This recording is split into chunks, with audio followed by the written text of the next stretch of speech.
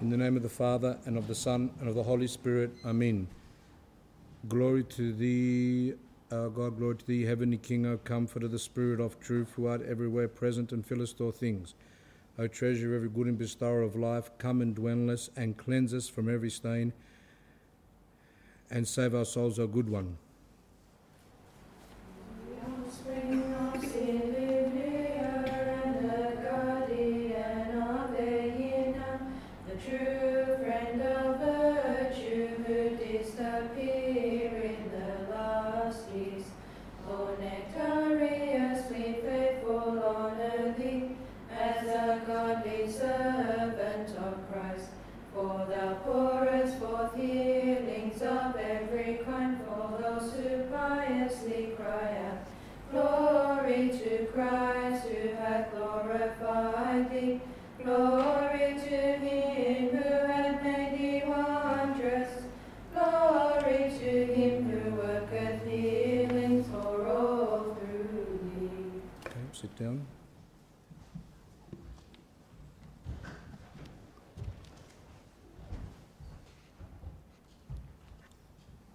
God's help and, and the help of St. Nektarios, we have now come to part five, and this is the last part of the life of St.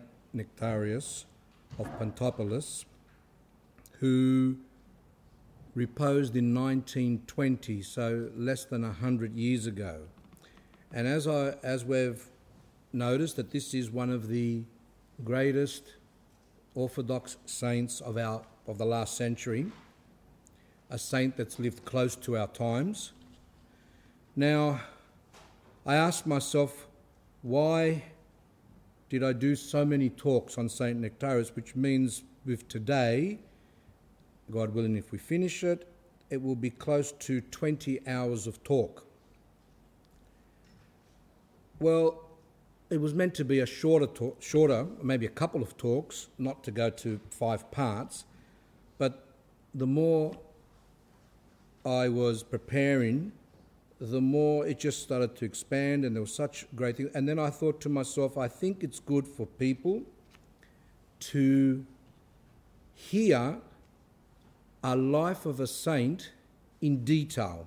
Because a lot of time people read lives of saints which are short, which is good as well. But to listen to the life of a saint, to actually read or listen to the life of a saint in such detail, helps us to understand Orthodox Christianity. Because without the lives of the saints, how then are we going to know how to lead a spiritual life? How are we going to know how to be saved?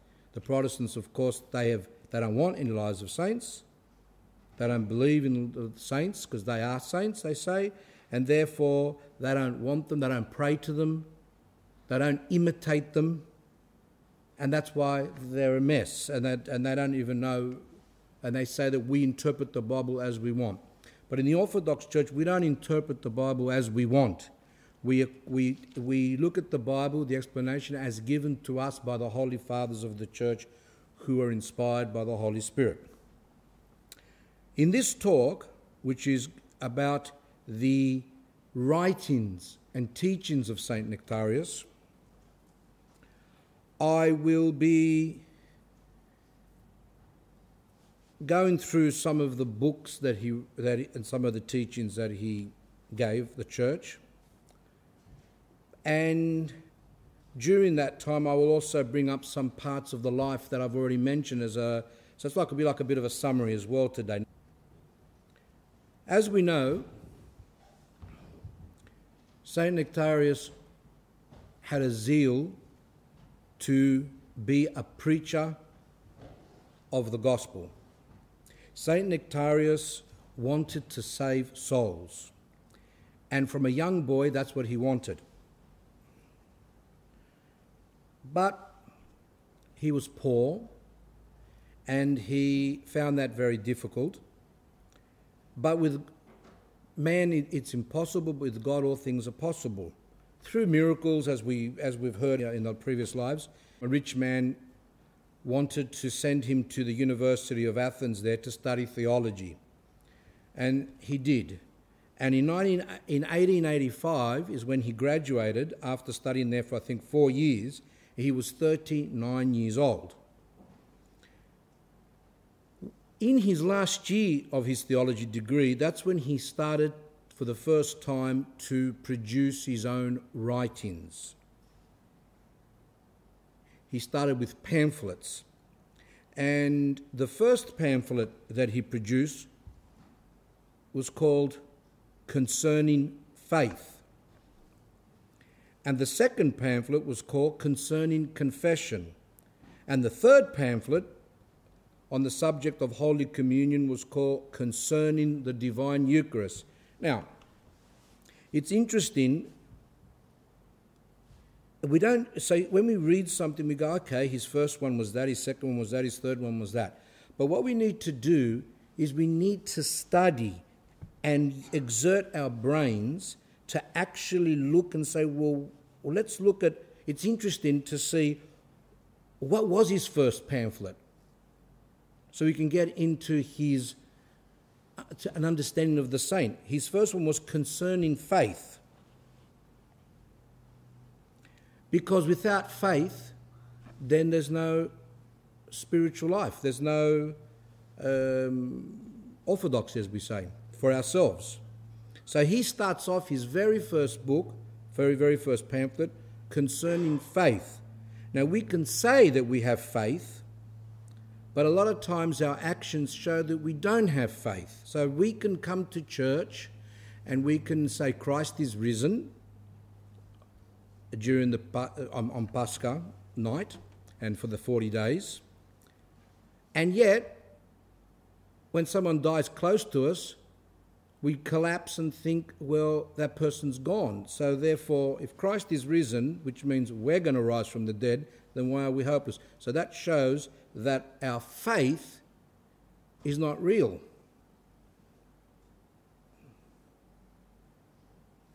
So, his first pamphlet concerning faith. The second one, interesting, that once he goes to concerning confession, he, and we're going to look at a lot because I'm going to read a lot from his books on confession the second one on confession is important because without confession, how are we going to enter the spiritual life? How do we come towards Christ?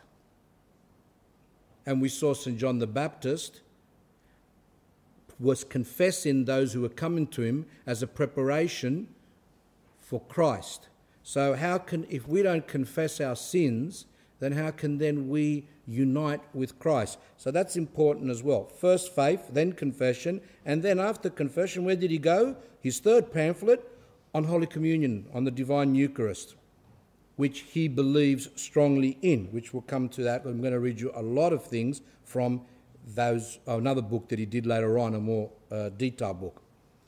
Now, let's look at the, some parts of the third pamphlet on the topic of Holy Communion. Firstly, St. Nektarios calls it the highest of the mysteries, the highest of the sacraments, in other words, and the most necessary for man. Now, why is that important for us? Because a lot of people don't commune. He says it, it he calls it the highest of the mysteries and the most necessary for man. If it is the most necessary for man, then why do people keep away from it? In this pamphlet, he explains one, why we should partake of Holy Communion, so he goes through all the details of that.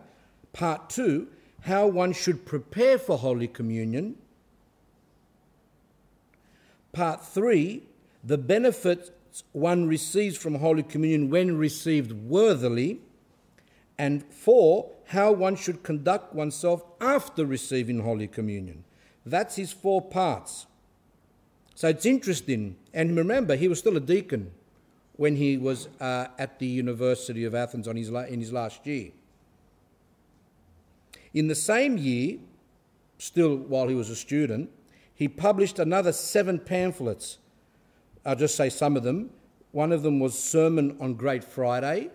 He wanted to explain to people what is Great Friday, because people go to the Sun, they know that Great Friday is when there's a nice um, table in the middle of the church with flowers and a, a, like a, a burial shroud.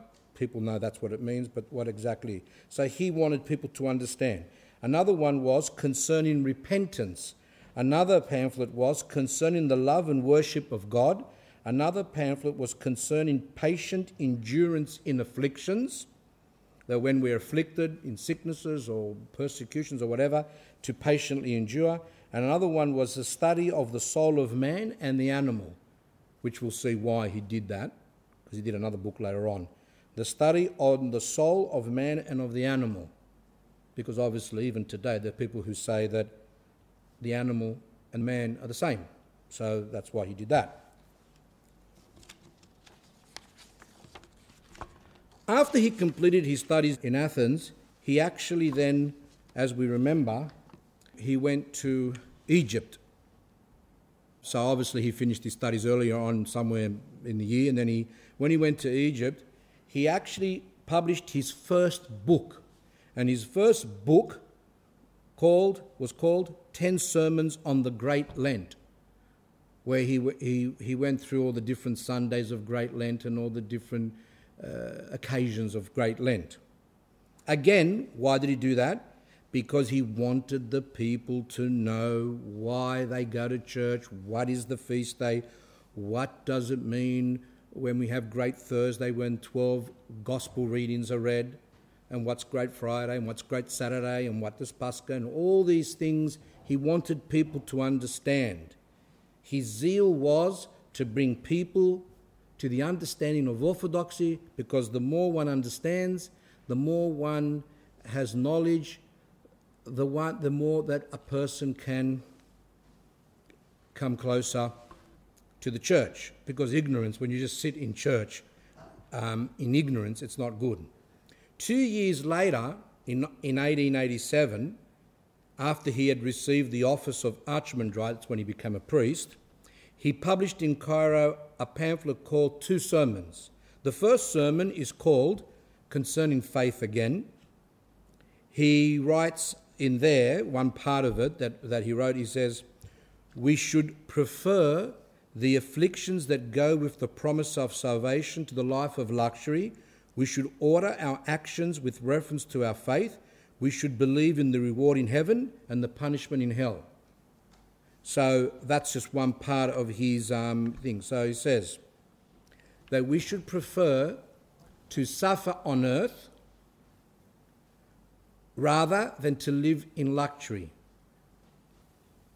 Because Christ promised that only those who suffer enter the kingdom of heaven. And he wanted to emphasize that. He also, as we said, he said we should order our actions in reference to our faith. Our life, lives should be according to our faith. Not in what the people of the world say, but on what the saints say, what Christ teaches, what the Holy Fathers teaches, what the teach, and what the church teaches, not what the world says. Unfortunately, today, a lot of Orthodox Christians get more information from magazines, internet, stupidities, and television, films, but not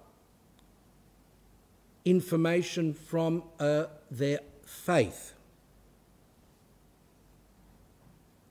And that's what St. Nektarios is saying there. And also, the last thing, we should believe in the reward in heaven and the punishment in hell. I have spoken to a lot of people who go to church. Some people have been going to church for 20 years, 25 years, 30 years. And as soon as I ask them, Do you think about heaven? Do you think about hell? They said no. I think that speaks for itself. The second sermon is called Concerning God's Revelation in the World. In this pamphlet, he says that there are two worlds the natural world and the spiritual world, each of which has its own laws and operations. So we have the world that we see, that's the natural world, and there's also the spiritual world. Each world has its own laws, its own, I don't know, uh, operations, it says there. One of the ways in which God reveals himself to man in nature is through miracles. That's why we call them supernatural. They're above nature. While after he was exiled from um, Egypt, we remember that he went to Athens and he couldn't get a job even as a preacher, and finally someone helped him and he got a job as a preacher, and they appointed him as a preacher in Evia, which is an island near Athens. In 1892, during the time that he was a preacher at Evia, St. Nektarios published a 112 page book called Holy Memorial Services, in Greek, Mnemosima, or Panaghidas in Slavonic. In this book, he gives six arguments. Firstly, he writes a lot in this book, but in one, in one part, he gives six arguments for the immortality of the human soul. Why? Because people at that time, as now, don't understand that their souls are immortal. If we understand that our souls are immortal, that we don't just end at the grave, that will help us to lead our life according to the church's teachings so that we can be saved. Because why would someone want to lose their soul in the next life? So St. Nektarios emphasizes that our soul is immortal, it lives forever. The Jehovah, the Jehovah Witnesses say that the soul dies, but that's not true. Some other people, unbelievers, say that when we die, we die finished, like the animals. That's their business if they want to be equal to them. But that's not what we know, and St. Nektarios himself uh, emphasizes with six arguments. I'm not going to go through all that now. He also presents the teaching of the Orthodox Church concerning memorial services and their value by quoting from the canons of the apostles. So St. Nektarios says memorial services is orthodox because it's the, the apostles mention them in their, in their canons. The writings of the fathers of the church, they mention the memorial services. And even in the ancient liturgies, there is reference to that praying for the dead. Those of you who remember, Talk 29, I dedicated to that of praying for the dead. And I went through the apostles, the holy fathers, the church, recent elders, saints from a few centuries ago, saints from centuries before. So can, I can show you that throughout the 2,000 years of the church's history and, and in the Old Testament, there is uh, that teaching that we pray for the dead. He also criticizes, St. Nektarios, the Roman Catholic and Protestant churches for their errors regarding holy memorial services. Now, there are people today, and unfortunately even some priests, who say that we're not allowed to judge. So today, the devil's message is don't judge. Those of you who watch television and those of you who read a lot, some of you will notice that there is this message that's been hit throughout the world. And the message is, you've got no right to judge me. So that is the teaching of today. Because the devil doesn't want people to be censured, to be reprimanded, to be told that what they're doing is wrong. So today, everything goes. Of course, pedophilia still doesn't go, but who knows? It's getting there. The age is lowering, lowering, lowering, and that type of that type of um, slogan "Don't judge, don't judge" is becoming more and more and more throughout the world. Can't judge anything anymore. And yet we see here this, the saint, Saint Nektarios, who criticizes the Roman Catholic and Protestant churches for their errors regarding holy memorial services. Because the Roman Catholics, they've, which we're going to see later on, they've gone to they've introduced things which aren't orthodox and never was part of the churches, even when they were together with us for the first thousand years. Those teachings of purgatory and other things, then they don't, we never had them. And the Protestants just say we don't pray for the dead because that's it. Once you die, it's locked in. Whatever, however you die, that's the way you are. If you died with sins, you go to hell. That's what they say. Or everyone's saved. That's another. That's another one. However, as I said before, there are some modernists today, some priests, who say that we're not allowed to speak anything against the heterodox. That's not nice. And to some extent, that's correct. We live in a country which is more heterodox than other, other faiths. We don't go around and call names and things like that, but it doesn't mean that when their teachings are, are influencing Orthodox Christians, that priests shut their mouths and say nothing. All these films about the life after death. There are so many things that are out there. Actually, even America, some woman, Barbara Walters, who is a, a very popular um, person over there, she did some interviews on, we spoke to different people of different religions on the life after death, getting all their different opinions. And she actually said in there that uh, people won't give up the belief in the life after death. A lot of them don't.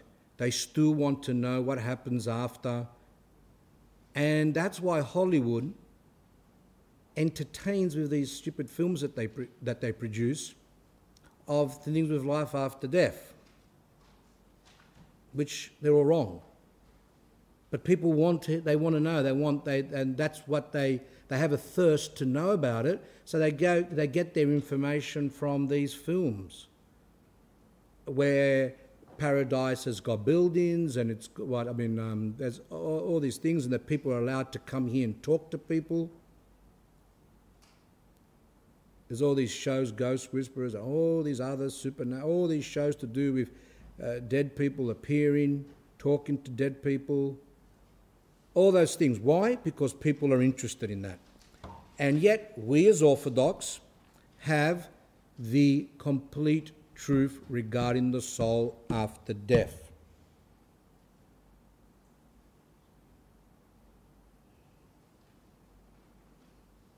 I have a question.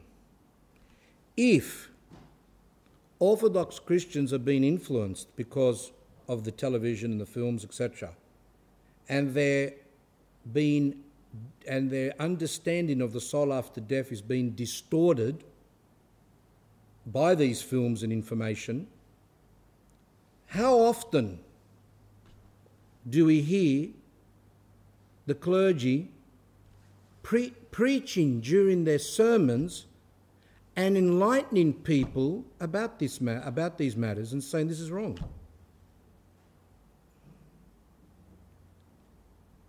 See, it can come across, you can say, oh, you're being judgmental.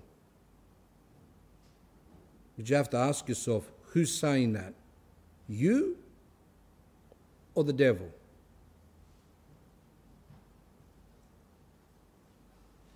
In 1892, also during the time that he was a preacher at Evia, St. Nektarios published a book called The Ecumenical Councils of the Church of Christ.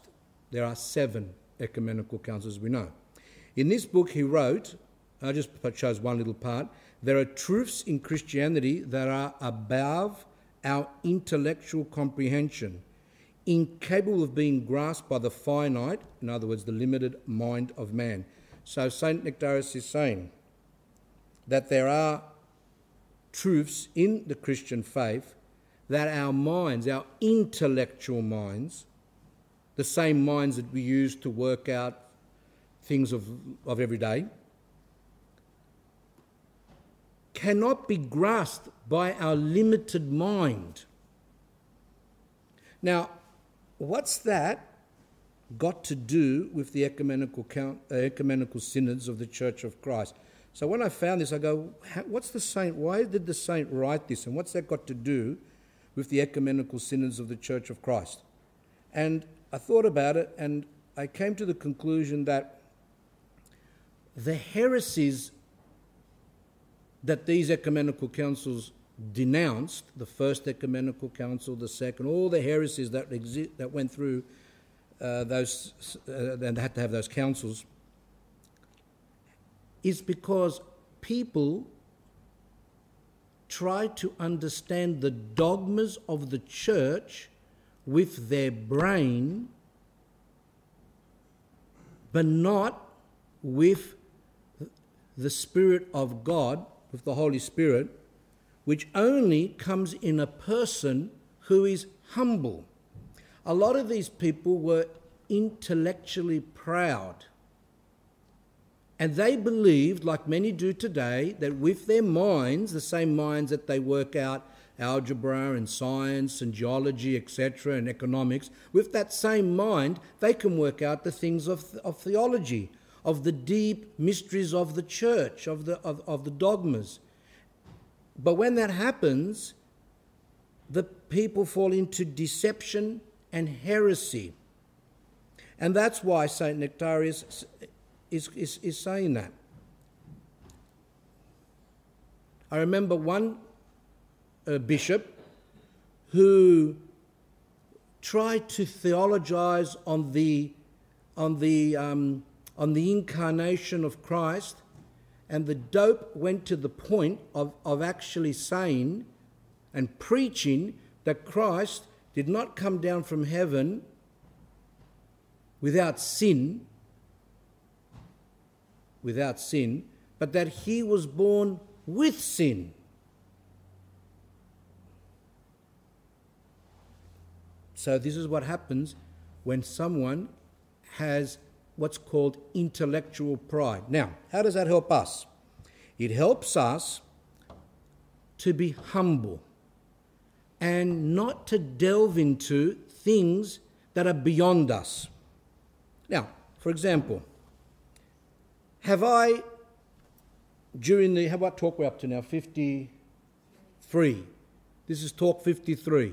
How many of those talks were dogmatic, like you hear a lot of talks today, priests doing these really deep talks to people who, after that, go home and watch TV? So you can't understand how they're doing these deep theological talks for people who are worldly, even if they go to church.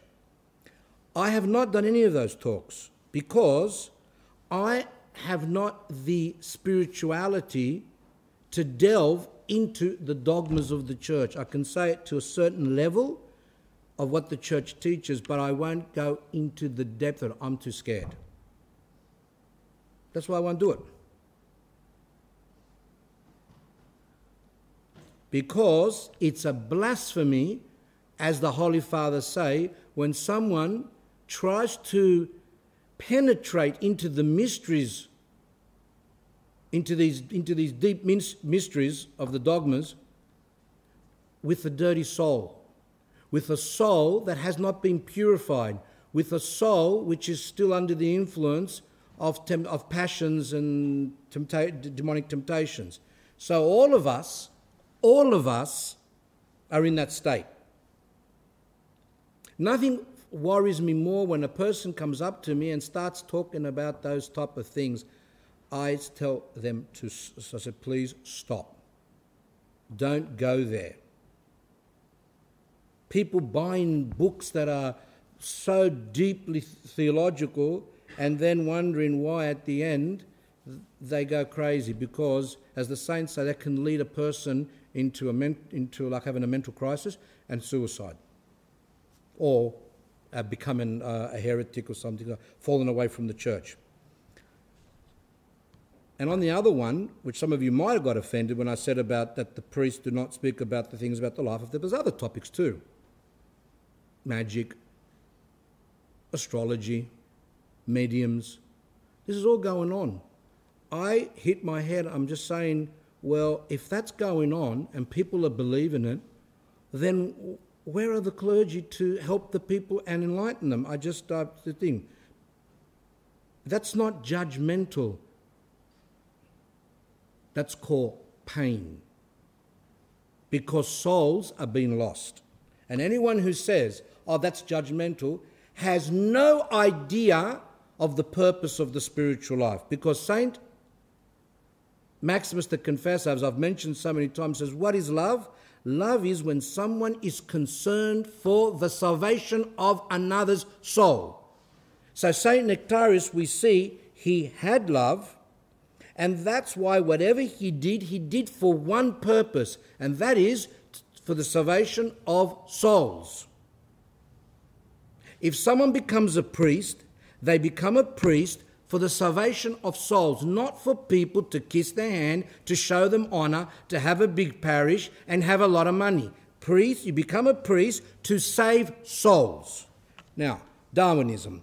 One day, St. Nektarios had a discussion with some college students who believed that, quote, St. Nektarios says that this, this is what they said the soul of man differs only in degree from the soul of animals, end quote.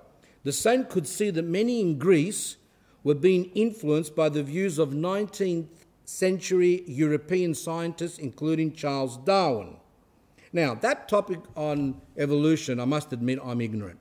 I haven't researched it, I haven't got really much material on it at all, and therefore I avoid it for the time being.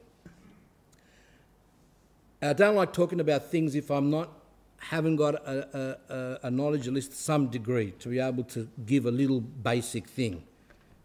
But, Saint, but because I found it here, at least it will give us a touch of how St. Nektarios looked at it. Because, again, being judgmental, but there are today, even in the church, there are clergymen who believe in Darwinism.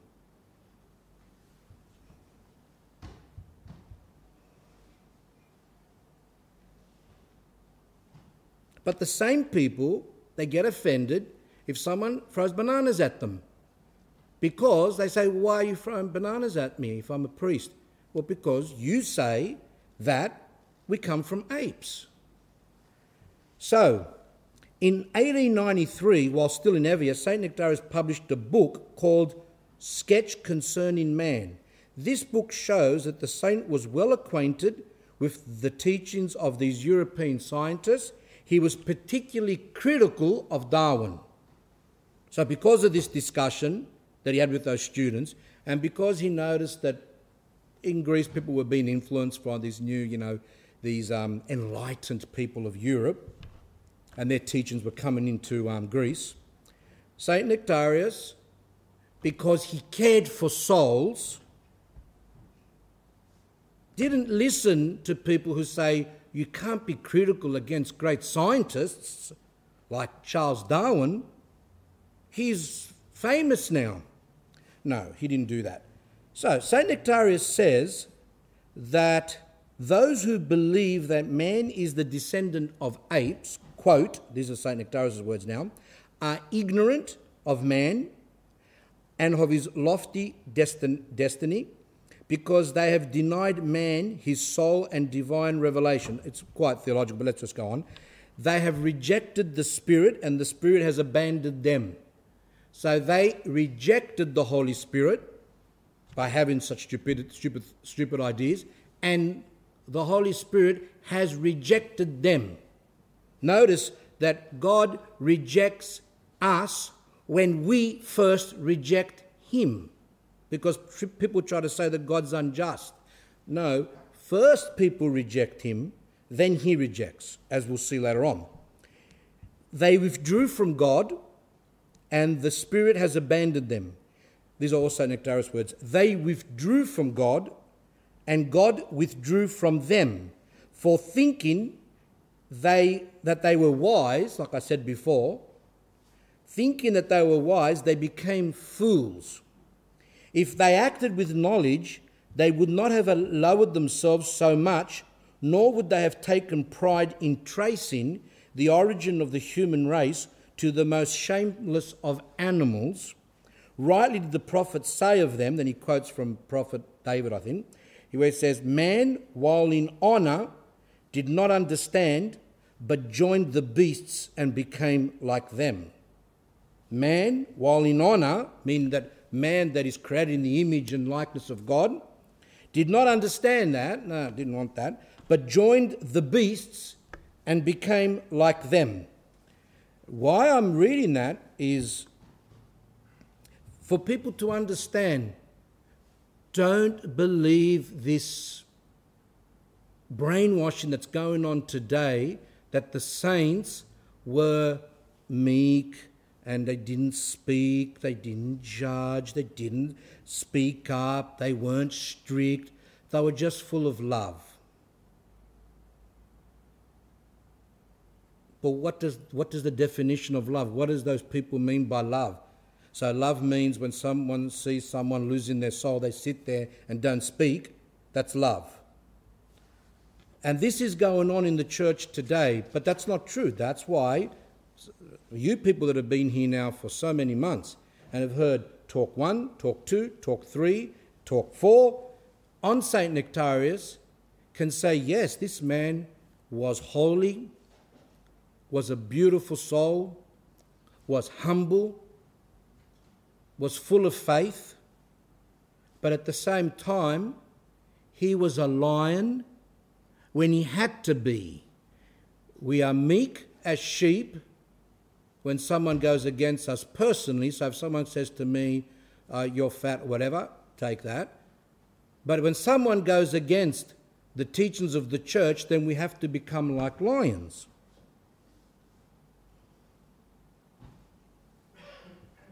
Let us not think that meekness, or sorry, that, yeah, that people who show themselves as being weak, we take that as being humble. As I said to you when I went to Greece years ago, I, was, I, had to, I went to St. Spiridon Church um, in, in Corfu there to, to venerate the relics, and there was a wedding going on at the same time. And then the, there was the time when the priest goes around the table holding the gospel. And I noticed all of a sudden that the priest put the gospel over his face like this.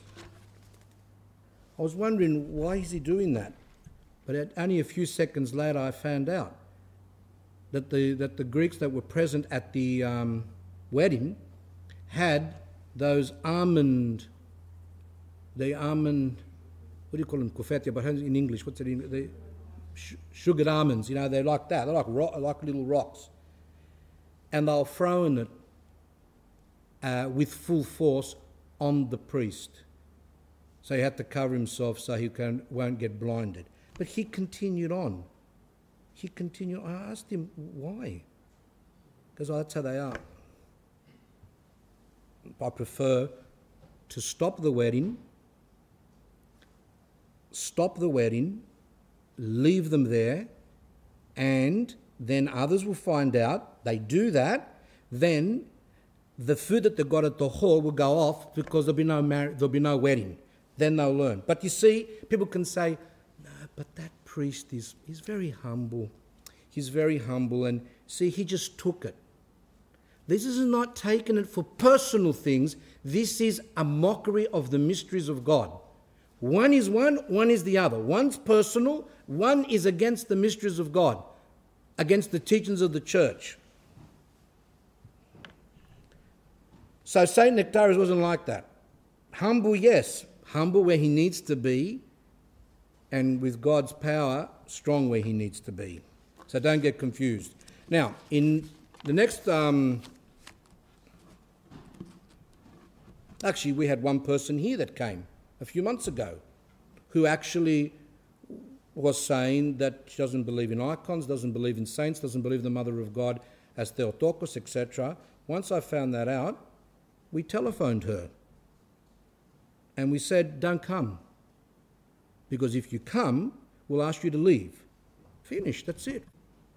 Some of you say, oh, What a horrible priest doesn't interest me what people have to say. What interests me is what God has to say. And for me to give word. Because if I know that that person's coming here and influencing people, she wasn't just said it to me, she was going around telling people. So she was a, like a heretic. So she was going around doing those things.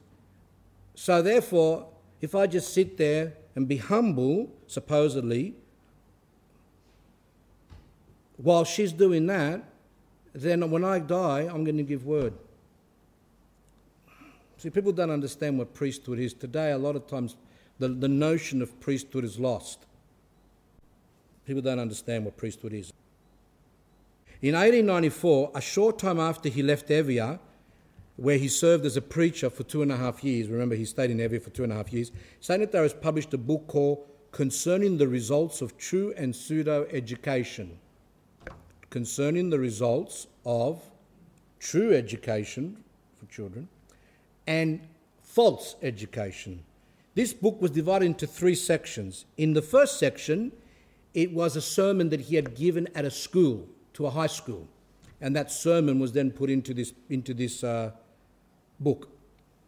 The sermon was called The Call of Adolescence in Society. The Call of Adolescence in Society. In this section, he strongly stresses the importance of cultivating the virtues such as faith, hope, love, honesty, humility, obedience, patience, courage, kindness, gratitude, love of truth, moral wisdom, understanding, self control, temperance, just, justice. He stressed that this is education. This is the, the, the, the, um, the main part of education of children. To teach the virtues he writes from in this book, he says, He who knows himself is never puffed up, never filled with pride. But first of all, he knows his shortcomings, in other words, his weaknesses, and faults, always comparing himself with the ideal prototype, with, with, with, with um, Christ, in the likeness of which he ought to develop himself, inasmuch as he sees how much he falls short of it.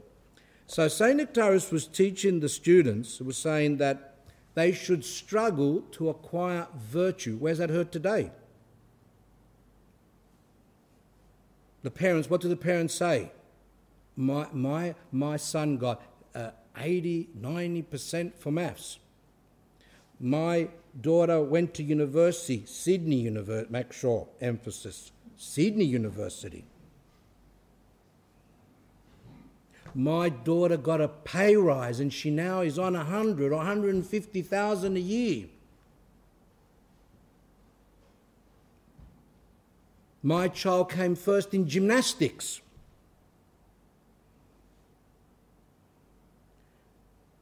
But I never hear, sorry, it's just it's to the point of it does make me sick as a priest, I have to tell you, but you never hear much about parents to say my child ha, um, uh, uh, has the virtue of honesty or love or faith or humility, etc., obedience. None of that. Very rare. Or for parents to come and say to the priest, Father, my child, I've noticed, you know, she's only or he's only four, but they got a very bad streak of jealousy, doesn't like sharing, now, for some parents, that's just a stage. But that's, that's not correct. Parents have to work on, on um, cultivating the virtues in their children from young, teaching them that lying is bad, teaching them how to help others, to be compassionate, to feel sorry for others when they are less fortunate than themselves, to share, etc. This is not much done. It's always the school and the job and the money and the education and all these type of things. And I had some dodos that came here and said, "Oh, that priest is against education."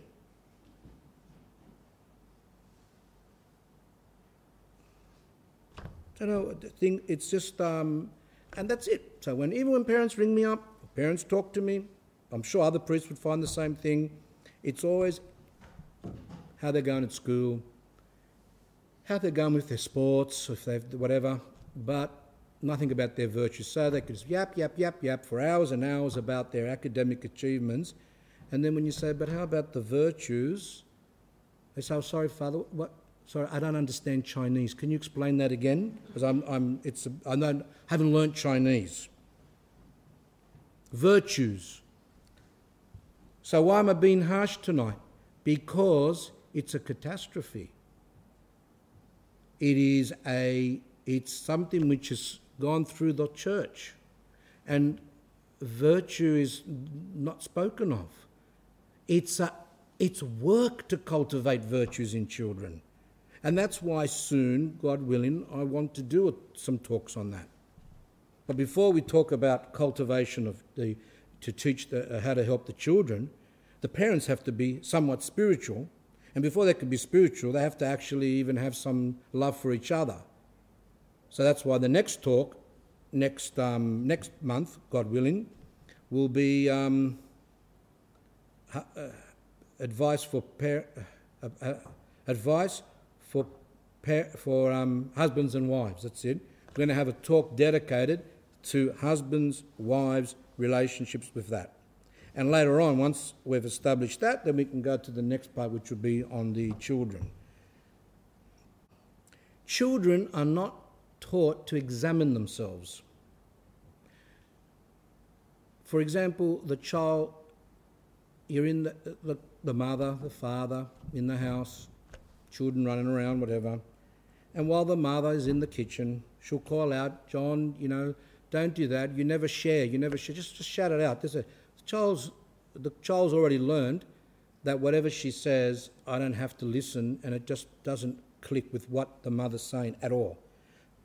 It's only when you get the child, sit it down in the room, calm the child down, and say, You are not sharing. And sometimes while you're doing that, they're looking around like this because they're not used to the parent talking to them. Now, listen to me, listen to me, you're not. And then to teach the child what you mean that you are not sharing.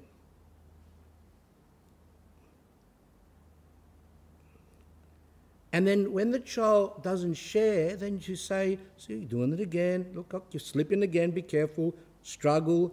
Teach the child to pray and say, Ask God to help you to be more sharing because that's what God wants, etc.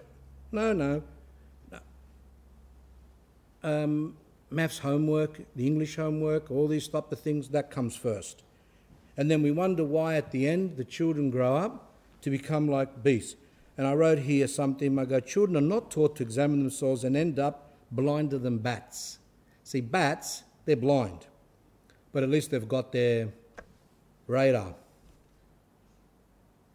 Sometimes they slip and you see them hanging from um, telegraph lines, but they're pretty good, their radar. But the children that grow up in, and go through, go in life, they're not just hitting telegraph uh, lines, they are hitting, they're hitting their head continually. They have no skills, they have nothing at all, and the parents are pulling their hair, and what have they done? Number two, speech. He did another speech on exercise.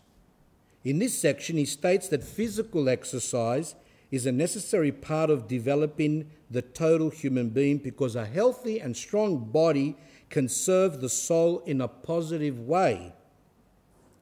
Now, I love this part, and I got permission from the person who this happened. It's a good example. Someone rang me up and said, I'm, I've got some mental issues, some problems, and I said, you know what? I, I think that you're malnutritioned. I think that when you were, when you were being brought up, uh, your parents didn't feed you properly because whatever. So you just ate a lot of carbohydrates and sugars. I think your nerves have been really, you know, you need to take a lot of vitamin B. And the person was shocked. The person was shocked. So I rang you up for spiritual advice. That's not spiritual. What's vitamin B got to do with spiritual life? The person was offended didn't listen. Eight years later, now she says, You were right, I've taken vitamin B and I really feel better. Well, where'd the eight years go? And the same person, after we discussed this on the phone, and she graciously gave her permission to, um, to, to use that example, she reminded me and said, Do you remember when you did the life of Elder Porphyrios? I go, Yes. Because remember that woman that she just kept on having miscarriages and the saint said that she needs to leave the house.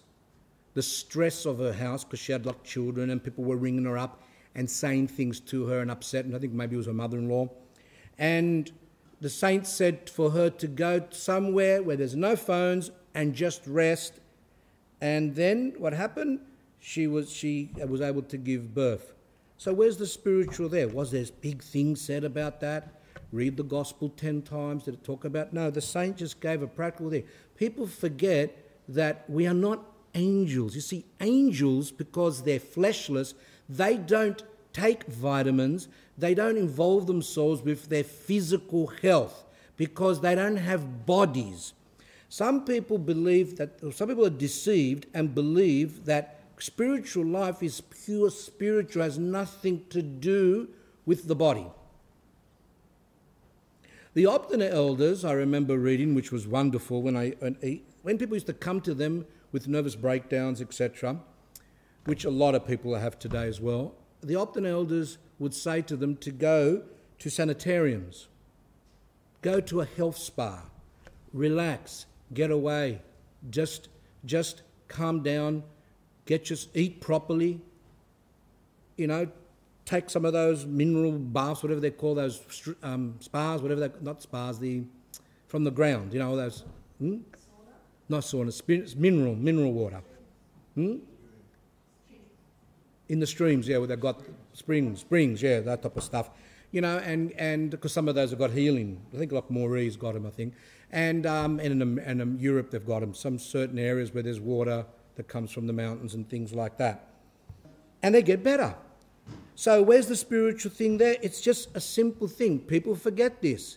People believe that they can fast full on, they can stand all night in prayer like the saints did, they can come to church, they can put their children there and make the children stand for hours and hours and hours and say, No, it doesn't matter. It's like their children have no bodies.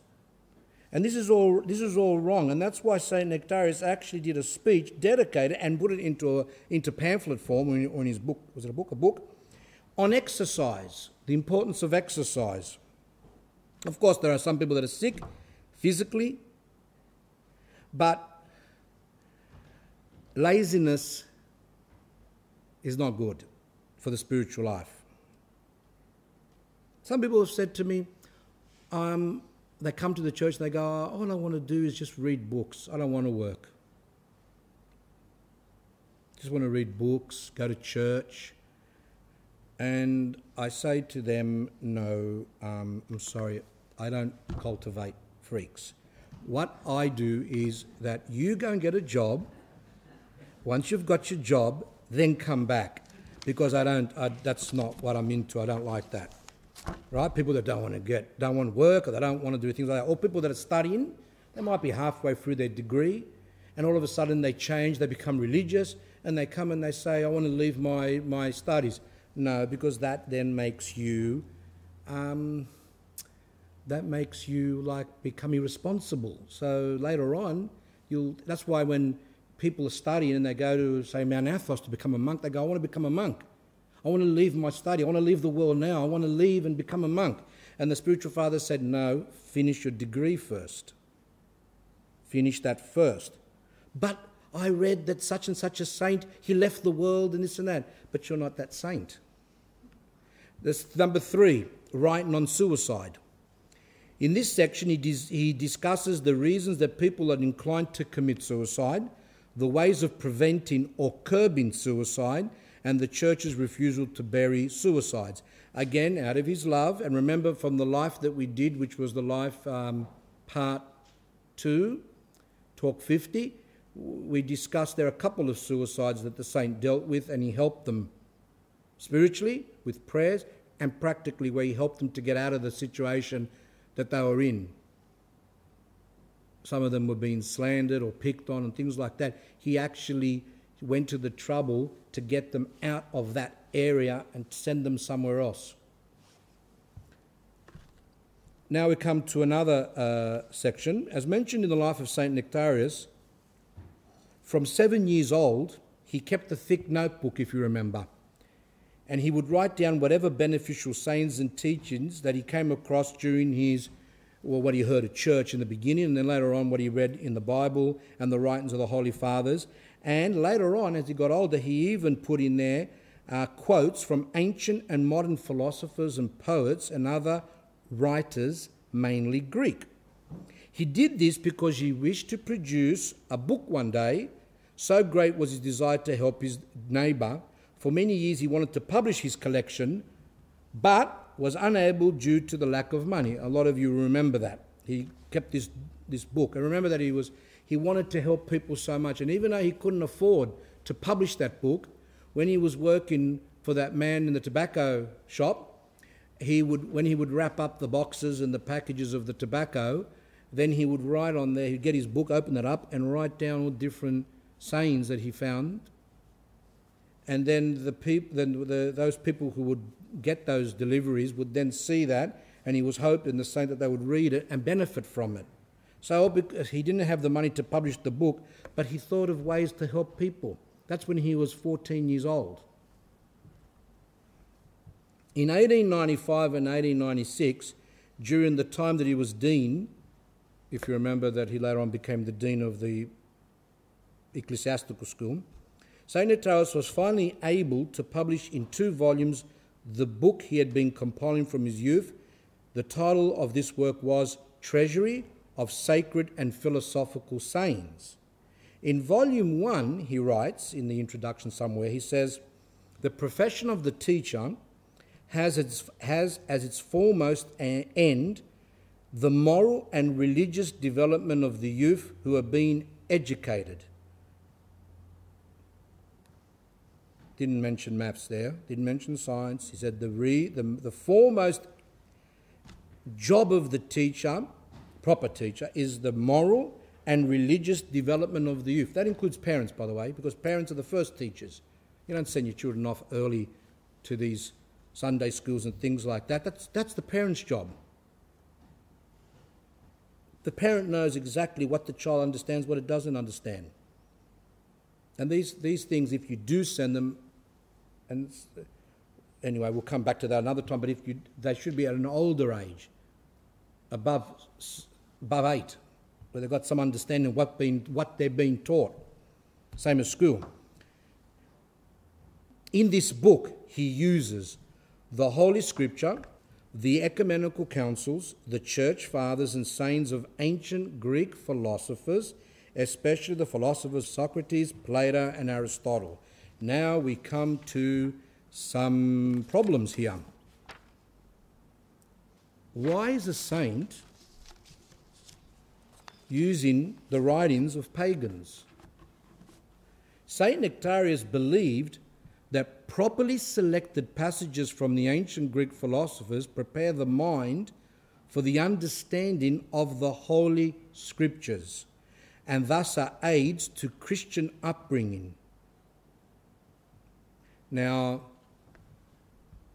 some of you, if you heard this before you heard the life of the saint, perhaps would be scandalized and say, What's going on here? But let us keep our seatbelts on and don't get too, too um, agitated yet, because I've got more things to read to agitate you further. In volume two, he writes Greek philosophy is the fundamental beginning of true development and education. It is the tutor of man, a guide that leads to piety. He's actually saying that these Greek philosophers, their writings, selected writings, uh, guides one to piety. Let's stop there for a minute. I'm going to ask this question.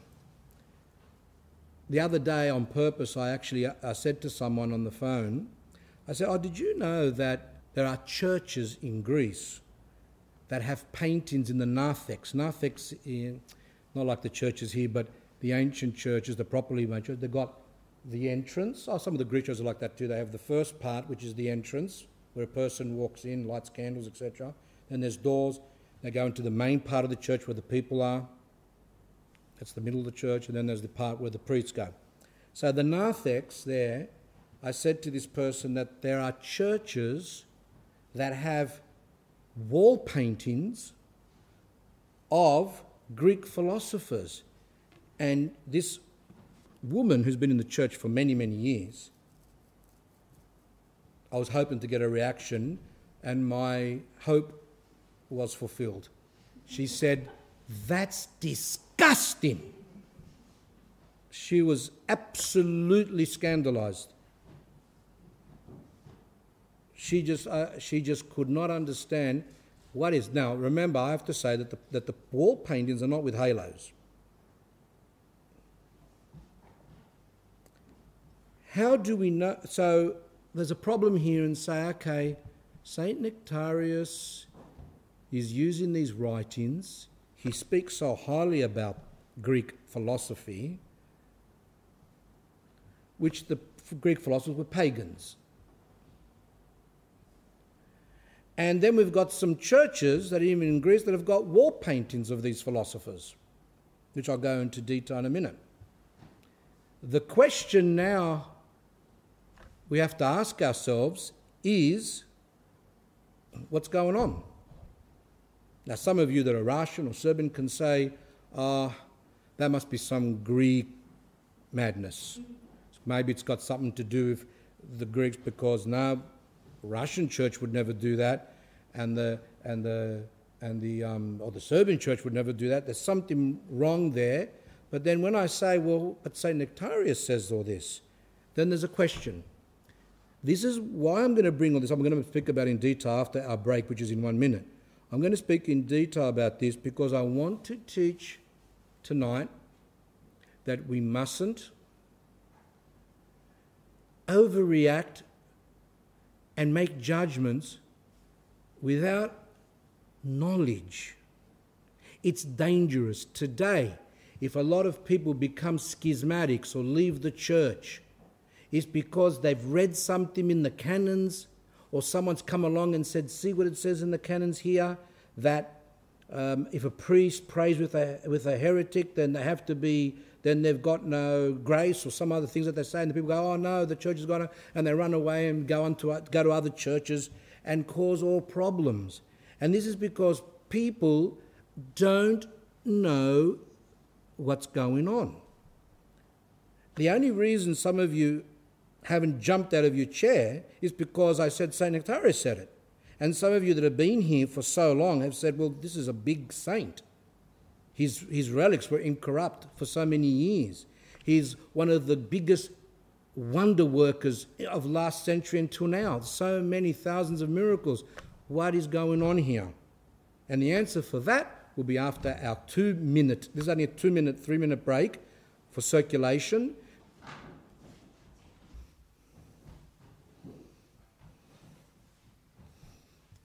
So, was I right to say that some of you got scandalized with that, with what's going on here today, with this thing to do with um, Greek philosophers that were pagans, etc.? You know, uh, does that cause some confusion? That, that's legitimate. I don't mind the confusion. To be, well, I wonder what was when I first came across it years ago. I go, what is that? I wasn't, I didn't understand it. I don't have the problem of someone questioning something. The problem arises when people start going silly and saying, oh, that's not orthodox, no, no, no, and start going that and start making up their own uh, conclusions and saying, oh, that's not a saint or that's not right or must be the Greek church or this.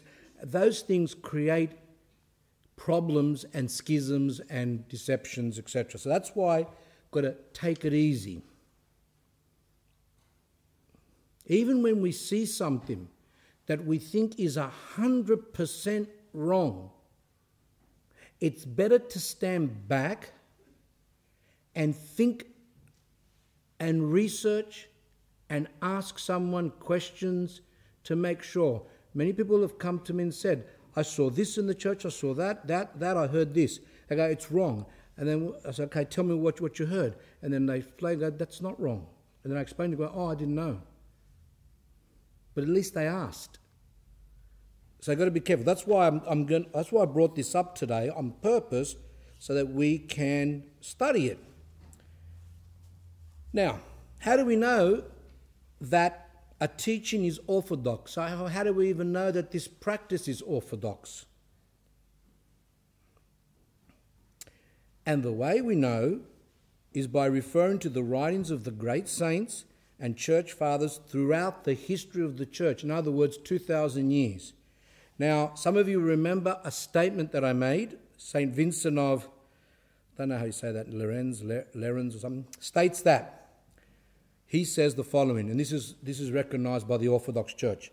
An Orthodox teaching is, quote, that which is believed everywhere, always, and by all. In other words, let us embrace the faith that is believed and upheld everywhere. That means Russia, Greece, Jerusalem, Alexandria, everywhere, everywhere, every Orthodox church. Always means throughout the 2,000 years, it's always been a teaching.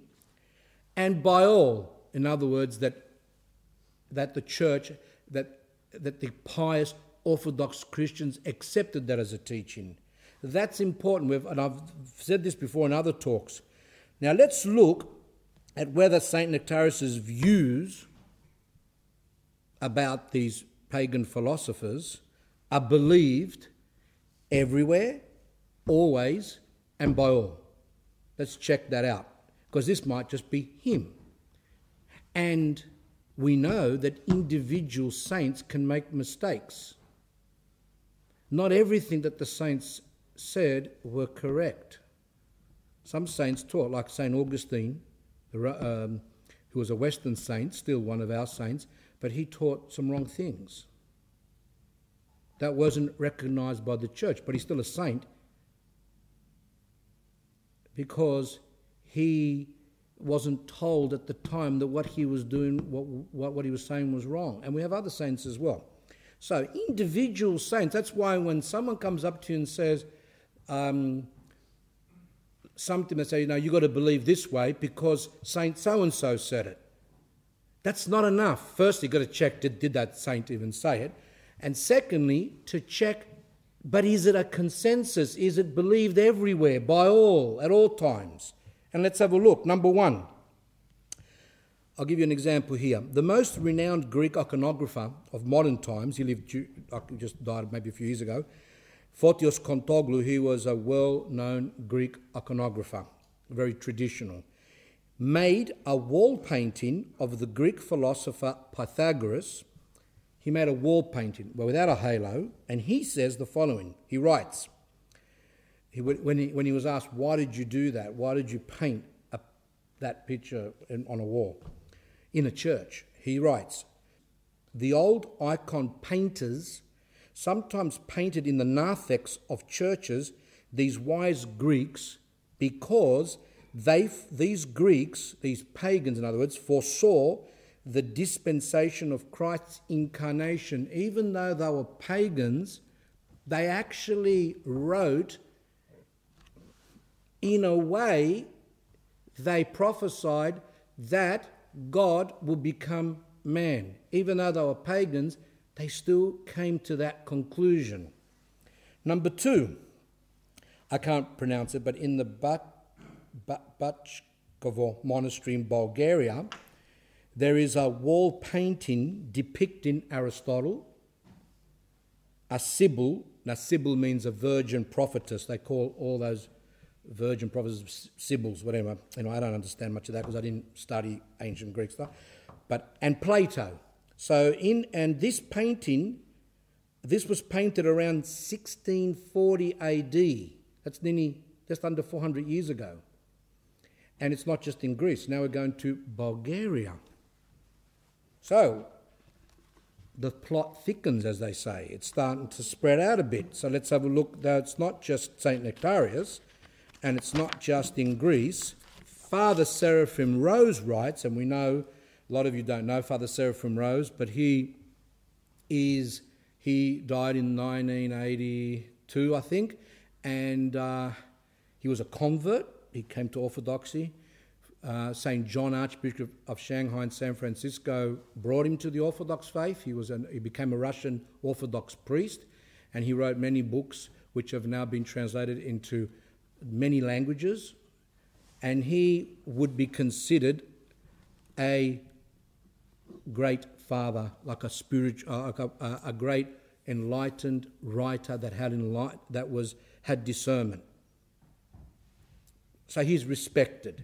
He writes in, in a book, he said, quote, in ancient Greek, Bulgarian, and Romanian Orthodox monasteries and churches today, one can find wall paintings of the ancient Greek philosophers who are thus honoured as seekers of truth before the coming of Christ, because they were all before the coming of Christ. But they are honoured as being seekers of truth. Now that's important. And even the staunchest means even the strictest, the most pious, one can say, Christians in Greece who follow the Orthodox faith and are quite strict, refer to Socrates as, quote, the apostle to the pagans. The apostle to the pagans. How can that be when he wasn't a Christian? But let's go on. This is Father Seraphim now. The best loved Greek saint of our century, says Father Seraphim Rose, Saint Nektarios of Pentapolis, said that Socrates and, quote, Saint Nektarios calls him divine Plato, end quote, were at times inspired by God. So, not just Greece, Bulgaria, Romania, and uh, Greeks that are in Greece that are strict Orthodox Christians, not just ones that just go to church and do their cross and light a candle. They actually um, refer to so- Socrates as the apostle to the pagans. Now, some of you still want to understand what that is. Let's go on. Uh, I just put a little point in here. In, an, in I have read this in an ancient Egyptian temple, maybe even more.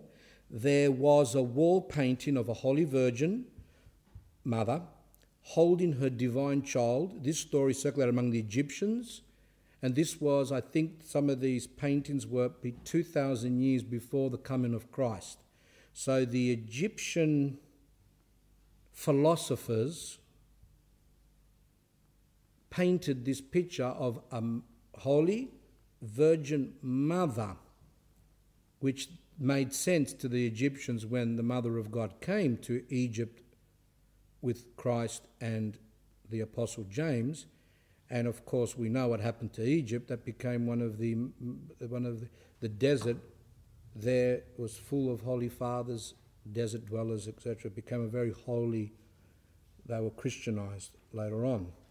Remember that the three wise men that came to worship Christ in Jerusalem were pagans. They were like uh, stargazers. They believed in stars, educated men, but they weren't Jews. They were not uh, believers of the true God. But in their studies of their stars, whatever they did, they got glimpses, and God enlightened them to understand that to go to Jerusalem because the Messiah was to be born, etc. So that's the three wise men. They were not, as we know, the true religion at the time was the Jewish religion.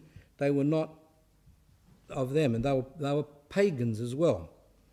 Father Seraphim Rose writes, again, he says, Saint Justin the philosopher, who's a great Orthodox saint of our church, went so far as to call the pre Christian sages, which are like those philosophers, wise men, learned men, by the name of Christian. So Saint Justin the philosopher which is an Orthodox saint, and he lived in the second century, I think. Maybe I'm not sure. In one of the first few centuries, he himself was a philosopher, and he converted to orthodoxy. He came to the Christian faith.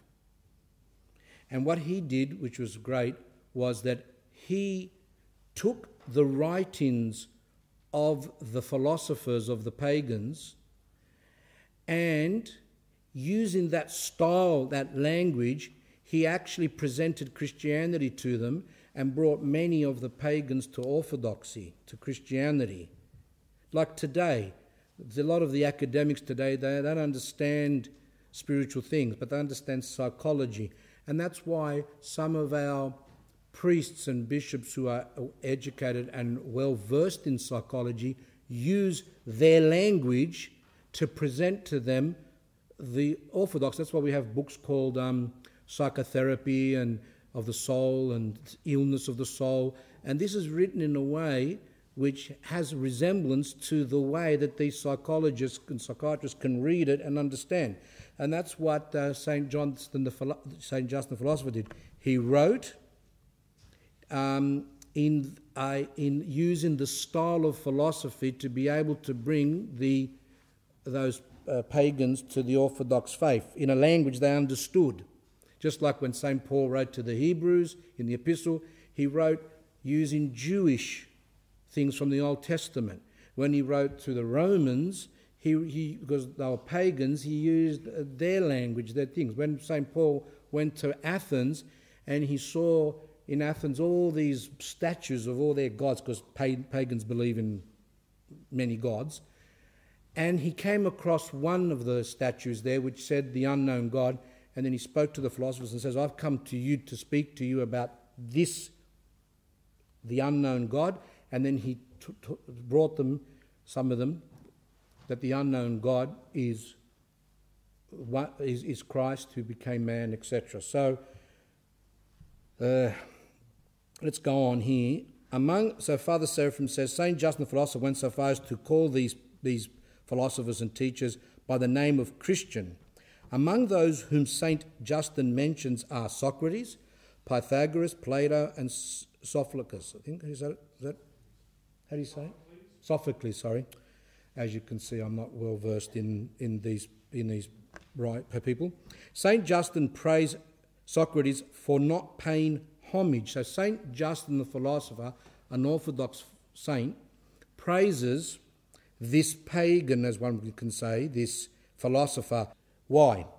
He praised Socrates for not paying homage or honouring the false gods whom the state recognized and all the people worshipped and was even killed for this. Even though he was a pagan, he wouldn't worship the idols that was the state religion of the Greek civilization then. He didn't worship his other, I'm not going to worship. He, and because of that, he was killed. And not only that, this was, and then um, Father Seraphim says, this was because, so writes St. Justin, Christ was even partially known by Socrates, for he was and is the Logos who is in every person. So, Socrates and a lot of the other pagans came close to the belief in the one God, as we'll see more in a minute. Even some academics of today or of past, of ancient Greek history, have said that Socrates could be considered the first Christian because some of his teachings were very similar to the Christian teachings. Hmm? I read somewhere that when um, St. John the Baptist went to Hades to preach, that those philosophers uh, would have been uh, would have believed in Christ because they all died before. Oh, thank you for that. Yeah. So I'll repeat that. St. John the Baptist, when he died and he went to Hades and preached, as we know, he preached not only to the Jews who had died, but he, uh, but he also preached, preached to a lot of the Greek pagans who, in some way, had accepted him, even not as clearly, because they were seeking the truth. So this, is, this, this shows us that we've got to understand that the church is not black and white like some people believe. I'll show you one, one more thing here. The sayings, Saint Father Seraphim writes that the sayings of the ten virgin prophetesses, known as Sibyls, as I said, these they were virgins, they used to prophesy and things like that in their way, were cited by ancient Greek writers, in other words, ancient Christian writers, sorry, as pointing to belief in the one invisible God and offering clear prophecies of the coming of Christ. So these virgin prophetesses, they were, as I said, pagans, but they actually uh, preached to people that God is one, not many, like the pagans believed, and not only that, that, that and that Christ would come to earth. So they actually did that, even though they had no. These people had no contact with the true religion at the time, which was the Jewish religion. So what, what does that mean? That God's going to abandon them? That He's not going to help them in any way? That's what people believe. Goes, oh, you have to be. You have to, uh, only those who believed in in in Christ, prop uh, within the religion of the Jews, or later on in Christianity, only they'll be saved, but not understanding. But what happens to those who had no idea? but yet were seeking the truth. And it says here that uh, Virgil, I don't know who that is anyway, who, who died 1900 years before the birth of Christ, used these prophecies of these women to predict that the Messiah would, quote, come down from heaven, be born as an infant from a virgin, and bearing and bringing in an age in which, quote, all stains of our past wickedness would be cleansed, which is the reason why Christ came to earth to cleanse the earth of the sins and to give, grant forgiveness. And these, and these um, uh, people actually came to belief in that without having known anything. They were enlightened to some degree. And to finish off my last one, because we've heard now Father Seraphim Rose, we've heard um, that Justin the philosopher, we've heard all these different uh, um, quotes here, but I've got one more for you. Saint Seraphim of Sarov, Russian saint. Let's see what he says about this matter, because we all know that he's a great saint of the Russian church. And he says these exact words are Though not with the same power as in the people of God, the Hebrews, the Jews in other words, nevertheless, the presence of the Spirit of God also acted in the pagans who did not know the true God because even among them, God, God found for himself chosen people. So Saint Seraphim Sarov is saying that even among the pagans, that God uh, acted in them, even though they did not know the true God. Though, but they were seeking. Let's see what he says. Go on. Such, for instance, were the virgin prophetesses called Sibyls, so he mentions that, who vowed virginity to an unknown God. One God. But still to God, the creator of the universe, the all powerful ruler of the world, as he was conceived by the pagans.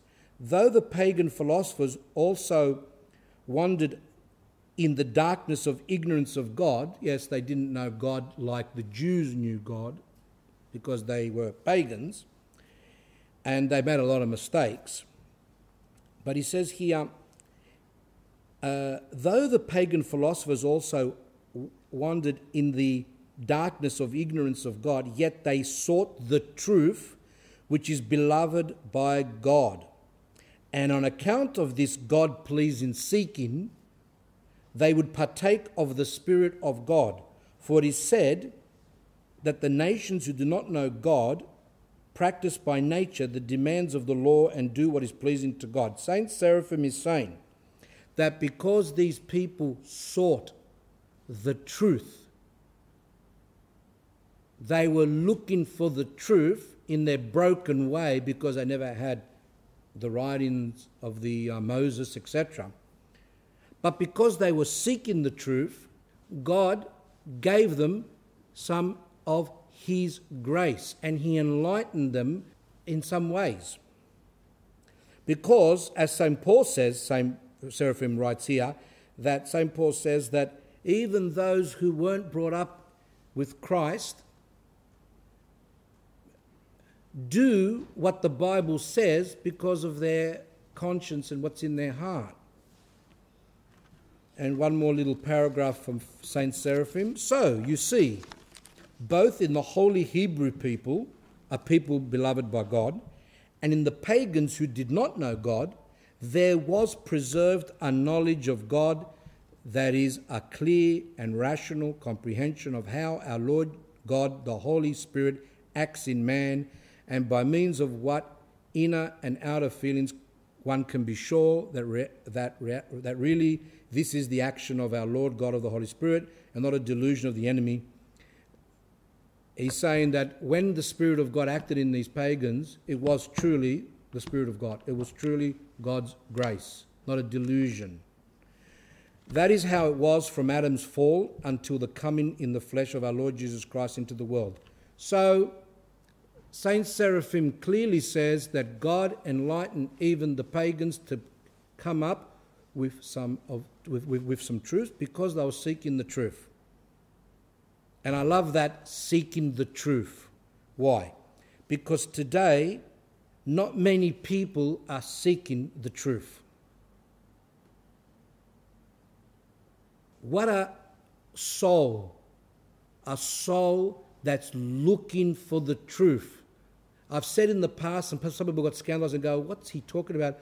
I, I even like those who have gone through, whether they've gone through heretical churches, whether they've gone through um, Hinduism, whether they've gone through Hare Krishnas, whatever, let's just say, as they're going through that, looking for the truth and rejecting when they see that it's not the truth, but they're seeking, seeking, seeking, I have respect for them because they're looking for the truth. Father Seraphim Rose, he was looking for the truth. He went through a lot of those things too.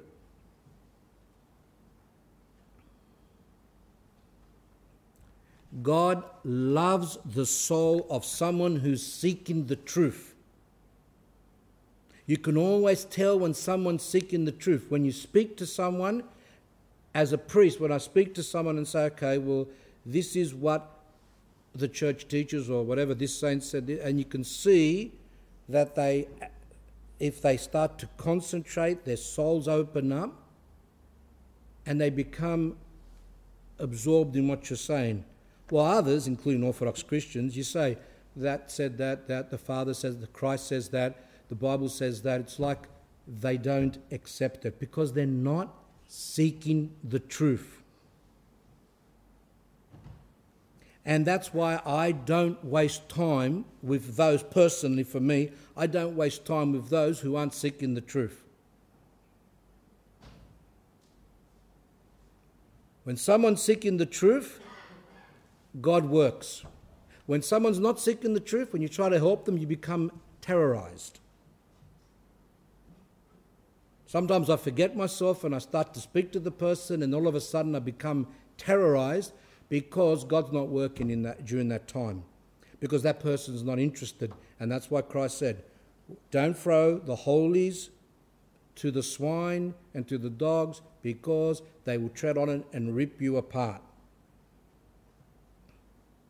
St. Paul says, a heretical person, a person who doesn't, who's, who's distorted the truth, after the first and second admonition, in other words, when you've tried to correct him once or twice with love, that is in prayer, then leave him.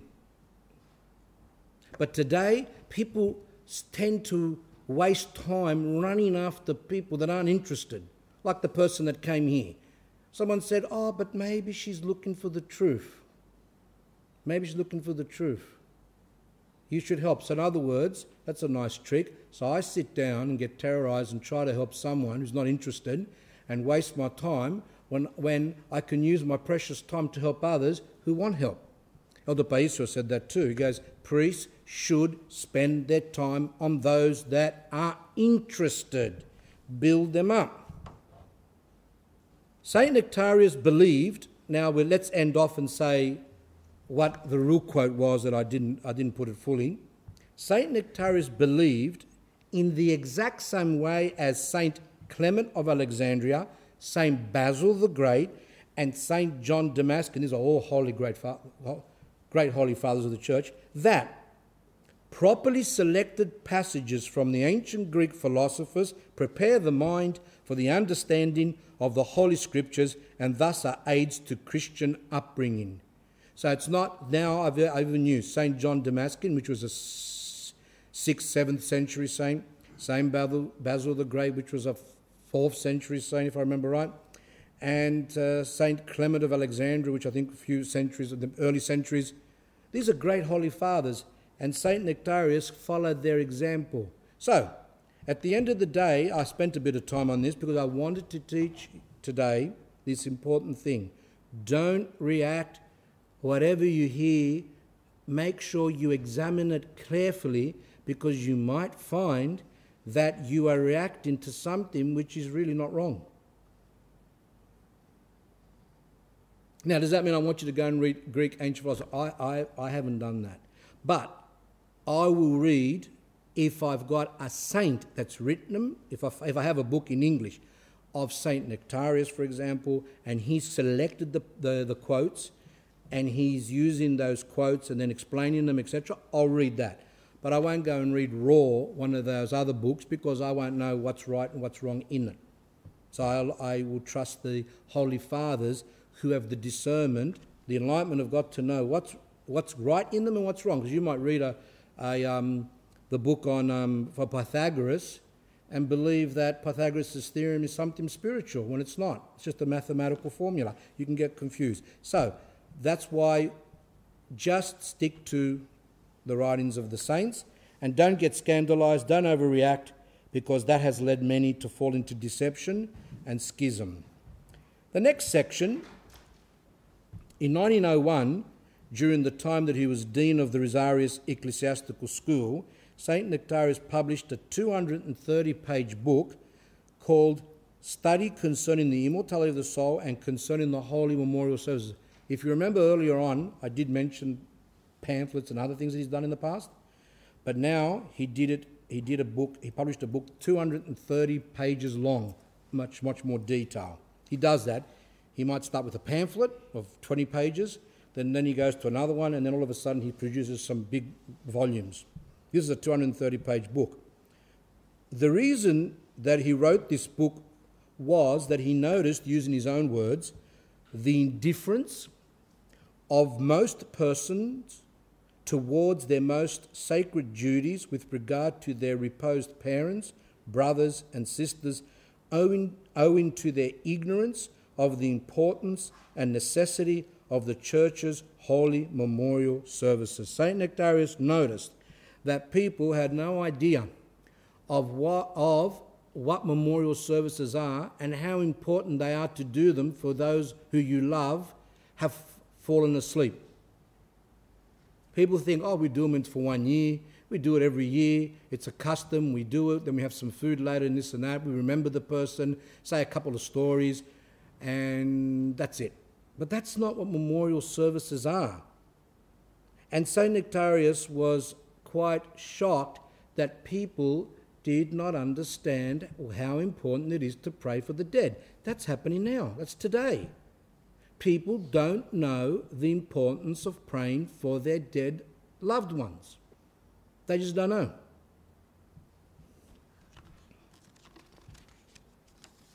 He teaches that memorial services, panagidas or mnemosyum as we say in Greek, are important and necessary because they benefit the souls of the dead and those who perform them. So not only do they help those who are dead, but they help those who are doing them for the dead.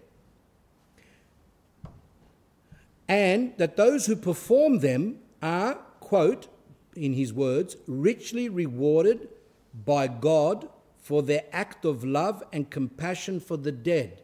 That God not only helps the dead who, the, who we are praying for, but he also helps those who are, who are doing these, who have asked the priest to pray for these people or who are personally praying for their dead. It, because God loves when someone is compassionate. Why? Because a lot of times the souls of those who have died have gone, as we'll see, to Hades and therefore they are in need of prayers to get them out. That's why St. Nektarios says it's important. In the same book, he writes that, quote, the partial judgment to which all men are subjected after death is by no means complete and final, wherefore it naturally follows that they await another complete and final judgment. St. Nektarios is saying there are two judgments. The partial judgment is when the soul dies. So the person dies, the body's left behind, the soul leaves the body. The, the soul then goes through judgment and is placed according to the deeds that, they, that, the, that the soul has performed, that what the person did. Some go to Hades, others go to paradise. He goes, that's called the partial judgment. That's the first judgment. But the second judgment will be at the end of the world when the, when the bodies will rise from the dead. So the souls, wherever they are, will come down, will enter into their bodies. Doesn't matter if the body's been dissolved, it's, that's a spiritual thing. And the person rises from the dead with the body that they had when they were on earth, but in a more of a spiritual, it's a spiritual body as well. And then they will be judged, we all will be judged at the last judgment, and that's called the, um, the final judgment. And after that, that's it. Wherever the person goes after that is where they stay for eternity. In, in the same book, he writes that the partial judgment to which all men, meaning people, are subjected after death is by no means complete and final. Wherefore, it naturally follows that they await another complete and final judgment, which is what I said. And that happens at the resurrection of the dead. He goes on, his, his own words, after the partial judgment, the righteous in heaven and the sinners in Hades have only a foretaste of the blessedness or the punishment which they deserve. In other words, he's saying that when we die and our soul is judged and is placed in Hades or, or, or paradise, that we will only, if we go to heaven, we only taste a, a, bit of what we're going to get in the future. And when we, if we go to Hades, we only feel a little bit of the punishment, not the full amount, which only comes after the resurrection of the dead when we receive our bodies. And he says here, during the partial judgment, only the soul of the man receives its blessedness and or punishment, not the body as well, even though the body shared with the soul. To be fully given the reward of heaven or the punishments of hell, one needs to have their body, and that only occurs after the resurrection of the dead. So now, wherever the souls are, they are not experiencing the full, the full benefit of heaven or the punishments of hell in, in its fullness. That comes later. However, this is very important, and this comes back to the talk that I did, which is talk 29 and 30 on this topic about Hades and commemorations and all that. Look what Saint Nektarios, because I didn't use him at that time. I used a lot of saints, if those who've heard that talk, but I didn't use him because I never knew that I, I didn't have it at the time. That's just another example. This teaching that I'm going to read now is not something which is just now or in the past. It's a teaching that has been always, by all, everywhere. First centuries, second, third, fourth, fifth, sixth, everywhere. Whether it's in Ireland when the Orthodox were there, in Russia, in Egypt, in Palestine, doesn't matter, Greece, Serbia, Romania. This has all this has been believed at all times by all Orthodox Christians, everywhere. And this is what St. Nektarios ends off. Finally, after the partial judgment, some of the sinners will be relieved of the burden of the punishment and will be completely delivered from sufferings of Hades, not through their own action, but through the prayers of the church. Those of you who have heard my, the past talks and have read books, you will know that when someone dies, if they didn't weren't able to make it to heaven because they had some maybe some unconfessed sins or something they weren't prepared properly, those people who died in, with faith in Christ and were struggling but didn't they didn't make it are able to be helped and be released from Hades to go to heaven, but it has to happen before the last judgment. And that's why the Mother of God prays continually on her knees and prays to Christ not to, uh, not to come to earth and um, for the last judgment, in other words, not to have the end of the world and the resurrection of the dead. She wants him to postpone it as much as possible. And the saints pray, not now, not now, to give people time to be released from Hades through the prayers of the church. So St. Nektarios is another one which I forgot to add in that. Thomas, I never, I not forgot, but I didn't have it.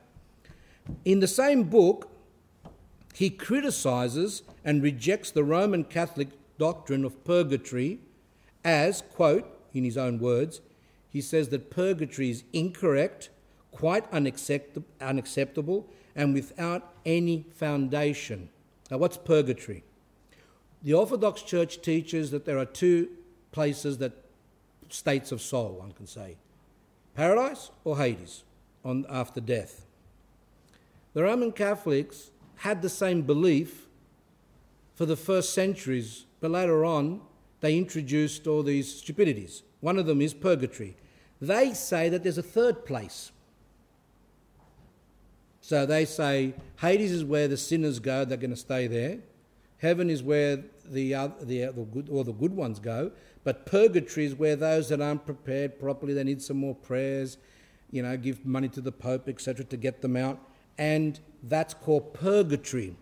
Now, purgatory is a place or state of temporal punishment where those who have died in the grace of God, meaning they're still believers, they still were Catholic, and they still were going to church, that they weren't prepared properly. Um, they go there and they suffer in flames of hell, and that's not even correct. And because these that comes later on anyway, and they they suffer. Um, and there they make up for their unforgiven lesser sins or sins that they haven't done penance for, etc. This is all wrong. This is what a lot of the children that some of you send to the schools, to the Catholic schools, because you trust the Pope's going to educate your children and make them big scholars and, and make them have good jobs. So we not only, um, we, we also pay them big fees too to go to teach them uh, heresy, because that's what the Orthodox children, and that's why some of them come back and they're doing their cross backward. They're confused. They say the creed wrong, which is heresy. So we have our saints who prefer to die rather than to uh, embrace any teachings of the Latin Church. But we have parents today who send their children to these schools to learn heresy. And even say to the Pope, We trust you so much, we even give you thousands of dollars every term. So these poor parents are going out and working like dogs, two, three jobs to make money to pay either the Roman Catholics or the Protestants to educate our children to educate them in what? In heresy, to, to tell, educate them in things that are alien to orthodoxy, things that are that can cause people to lose their souls. Now, you might say you're very harsh. I ask the question now to you people as well. When you have your child and you're going for a a little an outing down to the beach, say. So you go for a nice walk along the nice. They've got some nice pathways up high on the rocks. But of course, the, the, the council can't afford to put fences right along. So sometimes, as you're going along these beautiful walks, we've got to dodge all the dogs that people have got, they're walking with them. And uh, that's why I don't go a lot of times because of that. Anyway, so they've got no fences on the side. And what happens is your child, might be five, six, or four, doesn't understand, runs towards the edge. And over the edge is a big drop of hundreds of metres. I really don't believe that parents are going to be there and go, Johnny, don't run there. Can you see that happening? Don't, because you've got, because you've got to do what the, what the world says. The world says you've got to speak nice, always gentle. You don't have to raise your voice. So we've got the one which is there going, Johnny, don't run to the edge, right? Like they're some something wrong with them, or you've got the parents that shout out and say stop, etc. So one becomes a, a moving missile going down because they didn't hear the parent because the parent was too humble to shout. So that off that child goes down, and then you've got another one that screams and shouts and shocks the child, and the, ch- and the child drops. Like it happened once at the church when I was at a church uh, once, and there was um, someone left the gate open, and a little boy of around three or four, it just started charging.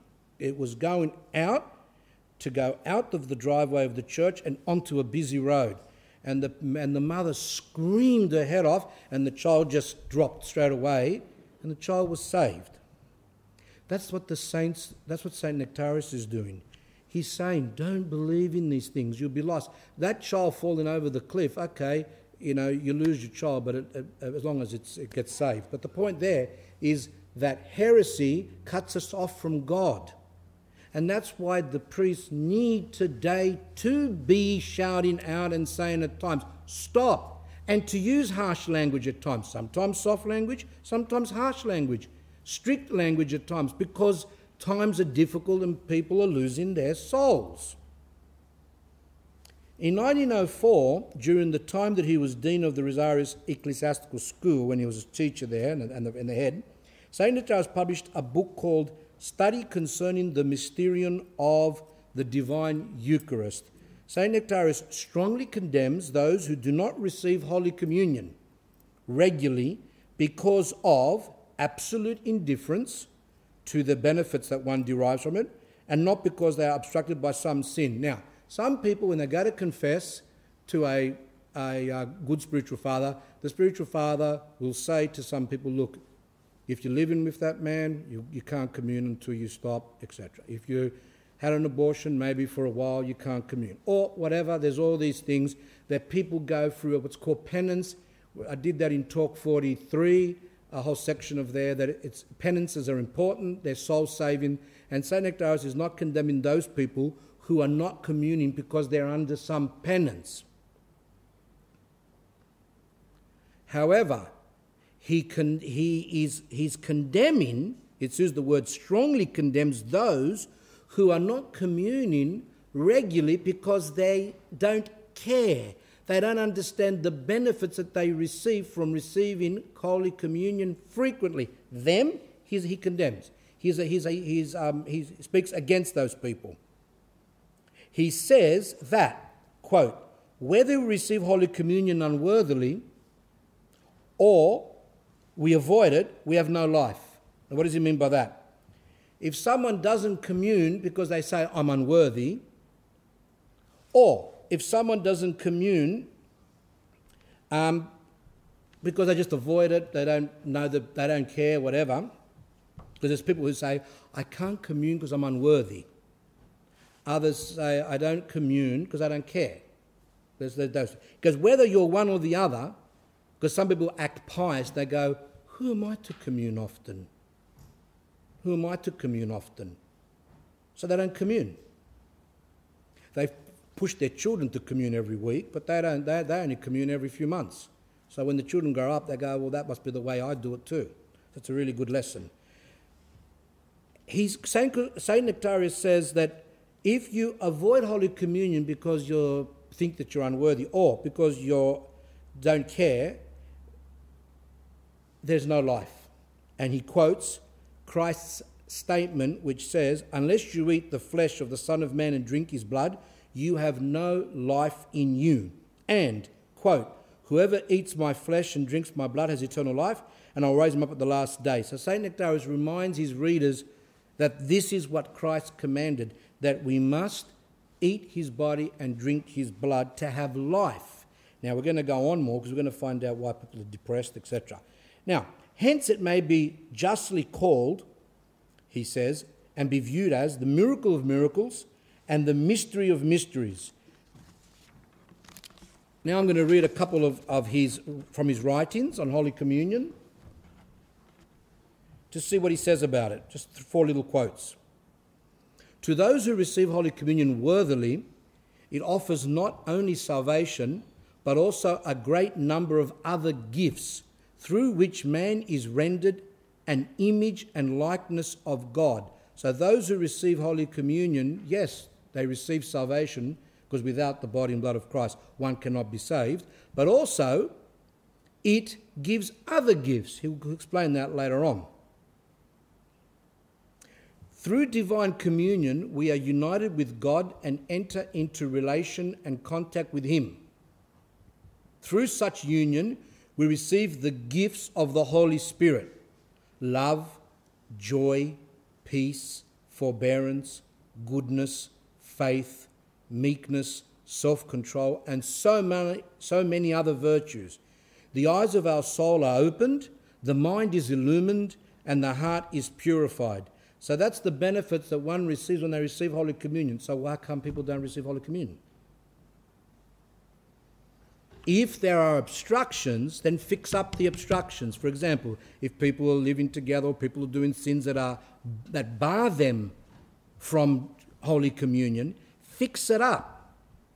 Go to the priest, confess it, receive a penance, and then aim to commune, and then thereafter commune often. See what it says here? It says the gifts are love, joy, peace. He goes on about that peace later on, that people don't have peace today. Forbearance, goodness, faith, all these things one receives from receiving Holy Communion frequently. I love the one up the top as well, worthily. To those who receive Holy Communion worthily. Once I said that at, when I was a layperson. It's a nice, a nice little quick one minute, two minute story. I was doing some talks at our house once years ago before I became a priest. And um, I said that we should receive Holy exactly what, he, what St. Ignatius said. We should receive Holy Communion worthily. Obviously, I forgot to say, even though we're not worthy, but that's how the church, even the Holy Communion prayers say, like, may I approach for Holy Communion worthily. There was a, and in that talk, I spoke about many other things. Anyway, there was a woman that was present at that talk. And as soon as she heard that, which I didn't know, I only found out years later, she start she got onto a, like a one can imagine like a white horse, and she started running around on her horse to all these priests and saying that I'm a heretic because I said that uh, the word I said worthily because she said because no one's worthy. So she was going around on the white horse and, and shouting out against me and saying that I'm this per- bad person. When I became a priest, she even said to people, don't go to him because he says you've got to be worthy to have Holy Communion. Anyway, then I thought about it and thought about it, and then I realised what was her problem. It wasn't the statement, that was just an excuse. The real reason she was against, but she couldn't say that, she had to use this as an excuse, was because her face looked like a mannequin from David Jones, from a department store. She had, well, basically, she looked like Ronald McDonald, right? So she had lipstick, makeup, etc. And, and in that talk, I said that those things aren't proper. So she doesn't go around to the priest and say, oh, you know, he spoke against women having makeup because he, he, she knows that that's really what the church teaches. So she, she, she's very smart. She changes it, goes, he said that you've got to be worthy to have communion. See, a lot of times when people go against priests, it's not what you think. A lot of times there's something behind it. So let me say, St. Nektarios here says, To those who receive Holy Communion worthily. Worthily means that we come to communion having confessed and having repented of our sins and come into communion with the understanding that we are spiritually sick, that we are sinful, that we want to be healed, and that we want salvation. That's what it means by worthily. Divine communion, St. Nektarios goes on, cures the sick heart and body of those who approach it with faith. So St. Nektarios is saying not only does it cure the soul, but it also cures the body a lot of times. It often saves our life and rescues us from dangers and affects many other marvelous things. Now, the way St. Nektarios is writing is exactly the same as St. John of Kronstadt writes. It's exactly the same as St. Justin Popovic writes, the Serbian saint. It's the same as so many of the saints, St. Nicodemus, who believed in frequent communion. Unfortunately, today there are some churches that don't believe in frequent communion. That is a problem. It's just not looked at as good. In the Greek church, um, there was a movement of those who wanted to bring back the church to its ancient roots. And the ancient roots is frequent Holy Communion. St. Nektarios was one of them. Oh, how happy and blessed must be considered he who receives the divine mysteries worthily. Ooh, better watch out for that one. Such a person comes out of the church wholly renewed because the fire of God, having entered into the soul of man through divine communion, burned up its sins, filled it with divine grace, strengthens its power, strengthened its powers, illumined the mind, and rendered the heart a dwelling place solely of the Holy Spirit. That's the way that St. Nektarios speaks about Holy Communion. So, what are we going to do about that? It's not a good sign. If someone does not, using a, uh, an everyday term, crave, that's not a very good word, but desire to commune, and without communion they feel that they're kind of dying and they need communion to be, to, to be enlivened, then that, those people not leading spiritual lives. That's an indication that someone is leading a spiritual life, that they have that constant desire to commune as often as possible. Because when we commune, we have Christ living in us. And that's when people don't want Christ living in them, then what happens then is they start to get into bad other bad things, sins. Because when we don't commune, we don't even feel conscious of the sins that we're doing. In the same year, 1904, St. Nektarios published a book called Study Concerning the Saints of God. In this book, he writes failure to give due honour and reverence to the saints of God is impiety, ingratitude, indifference, and a lack of desire for self perfection in virtues. He condemns those who do not honour the saints. And honouring the saints does not mean just coming to church and venerating the icons and putting a $2 coin there or lighting a candle. Honouring the saints means to read their lives, to pray to them, and to have them part of your life. Saint Justin Popovic, when I went there years ago before I became a priest, the nun that took us on the tour there around, and she was speaking to us, and she's and I went. They, she took us to his room, his uh, his office, and in and in his office he had icons everywhere. Every single part of his room was full of icons, and she said in Serbian, but I had a translator there. She said that um, the saint every day, as part of his prayer rule, would pray to every single icon in the room. He would pray, just do even a small prayer. Saint of Saint, you know, Saint George, please pray for me, whatever, to every single saint. Saint Justin Popovic was a firm believer of the lives of saints, and that's why he published volumes of lives of saints for the Serbian people. So, how do we know if we're leading a spiritual life? By our relationship with our with the, with the saints. How do we know a couple, a husband and wife, have a good relationship? By the way that they act with each other. Do they respect each other, etc.? How do they act? And that's the way we know that they have a good relationship. How do we know that we are Orthodox Christians? By our relationship with the saints. Failure, the church calls on the saints in its prayers as intercessors with God and also honours their relics and everything that belonged to them, as well as icons depicting them. So St. Nektarios is saying the church calls on the saints, as we heard today in the service, the priest praying. We also are petitioning the saints, as everyone should do even at home in their prayer room, as St. Justin was doing. And it says here that we not only honour the saints and pray to them, but we also honour their relics and everything that belonged to them, as well as icons depicting them. Next point from the Orthodox standpoint, the concept of the church contains in itself the dogma of the intercession of the saints, which was universal in the church of the first, few, first centuries.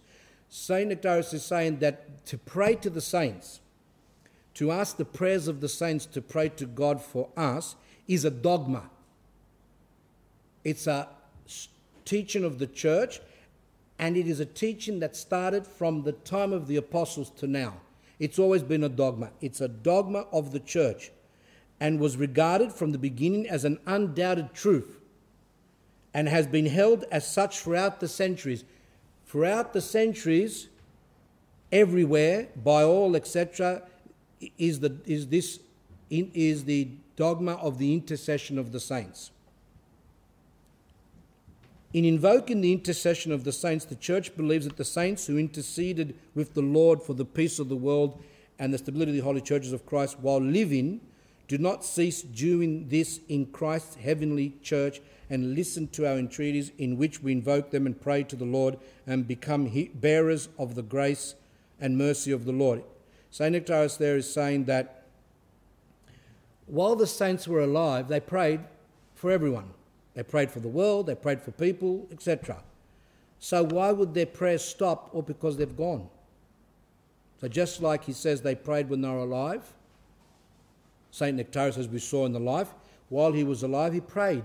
He prayed for rain, he prayed for possessed people, he prayed for sick people, he prayed for so many things, and he helped a lot of people. And when he died, that prayer continued, but in a more strong way because it, then it was, it was thousands and thousands of miracles. So the saints don't stop praying, all because they've passed into the next life.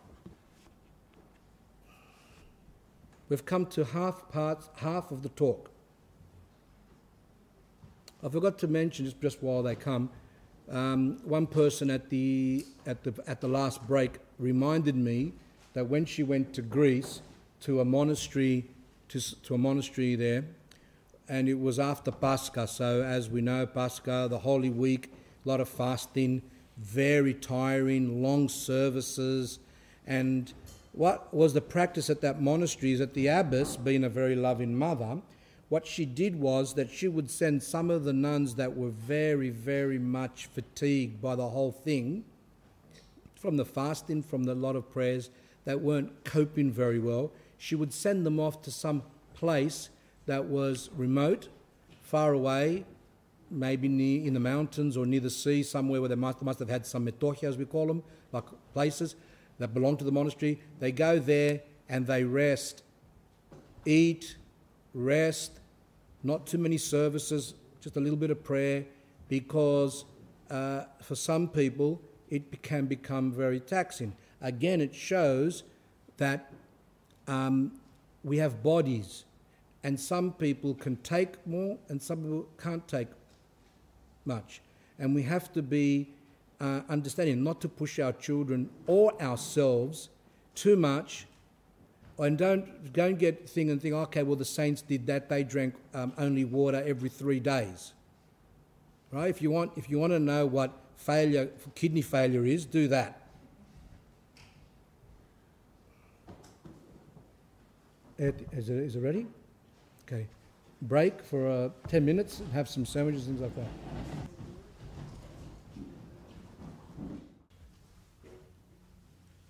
In 1904, again, while he was still at the um, school, when he was teaching there, he wrote another book. This time he, it was called Study Concerning the Mother of the Lord, the Most Holy Theotokos, and Ever Virgin Mary. Now, in this book, the saint defends the orthodox teaching that the Theotokos, quote, was a virgin before she gave birth to Christ, was a virgin when she gave birth, and remained a virgin after she gave birth, end quote.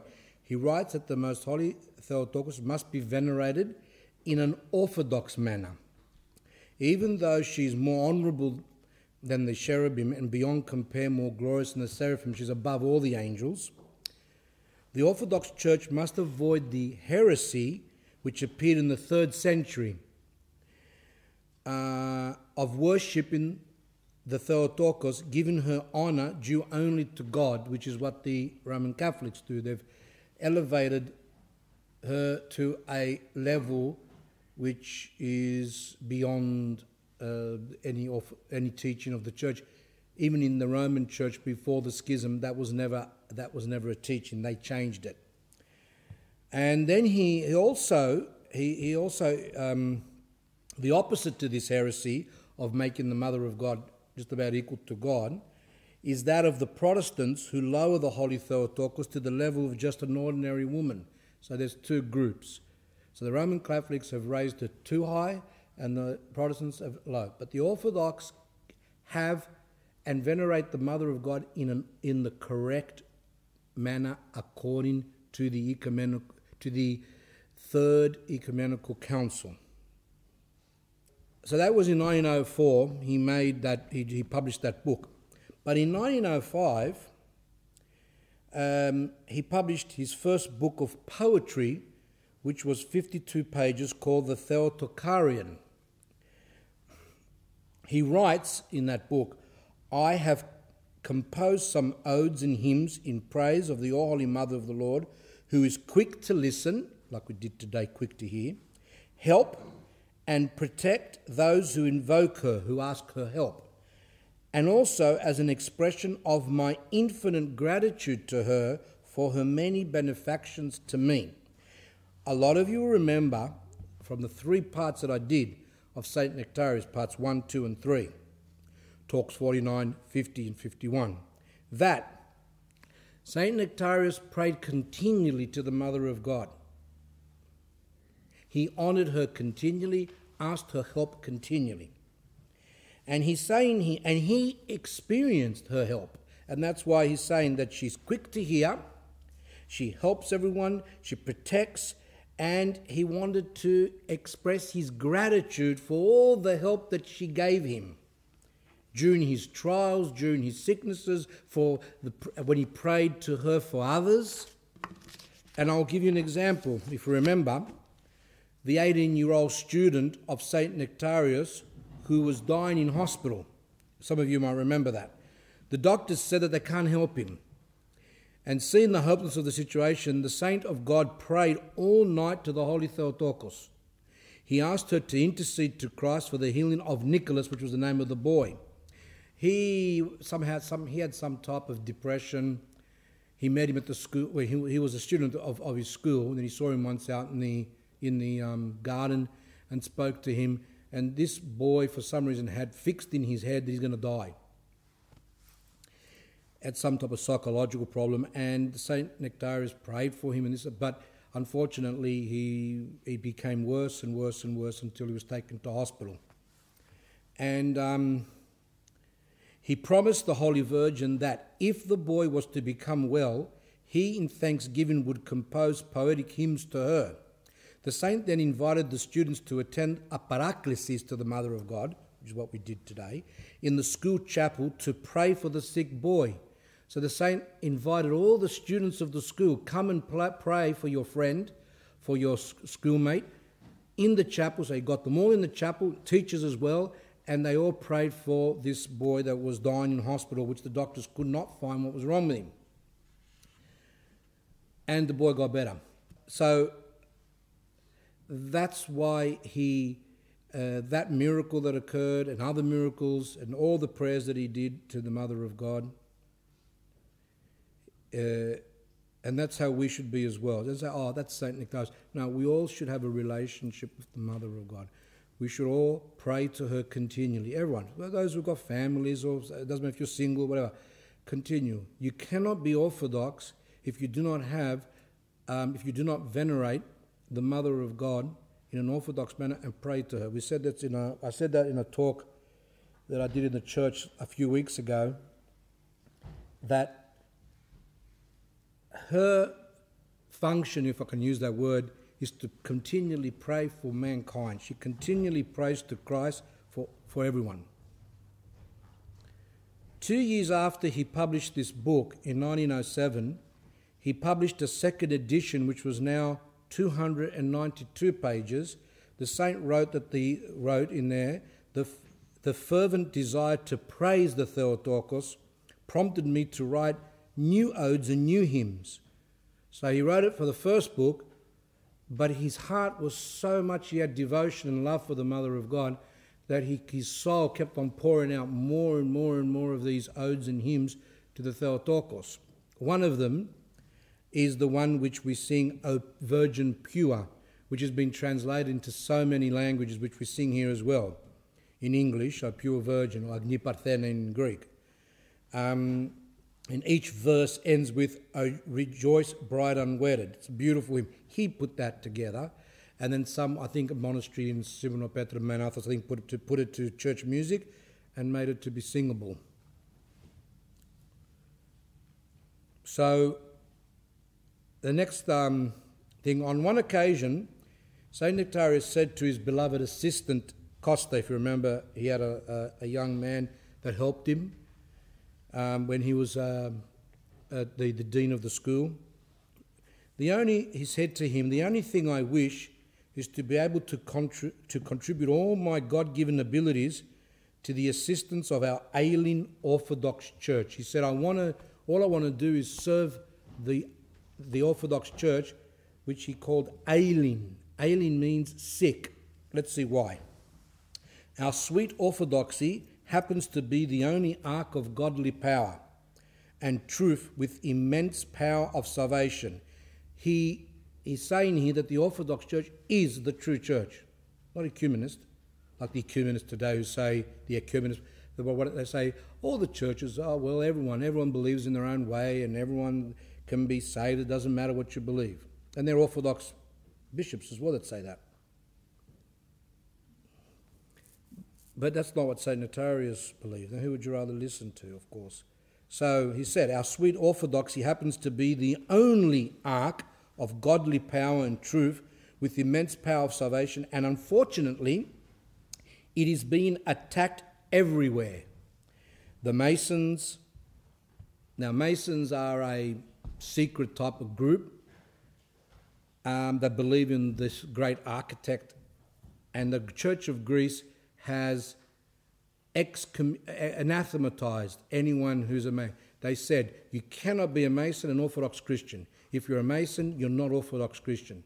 You cannot be buried by the church. You cannot commune in the church, etc. Greece is strict. In the West, unfortunately, it's like that. Doesn't matter. You can be a Mason, you can be an Orthodox, but that's not how. That, that's not the truth of the matter. Um, these people um, have a lot of influence and power, and anyway, that's another. Pseudo philosophers. The church has been attacked by them, like as we said, like Darwin, he was a, a, a scientists and philosophers that are saying all things contrary to the church. Materialists, false politicians, leaders of nations, and worst of all, even clerics are guilty of this attack. So St. Nektarios doesn't mince words, he says it straight out. Who are the enemies of the church, including politicians and this and that?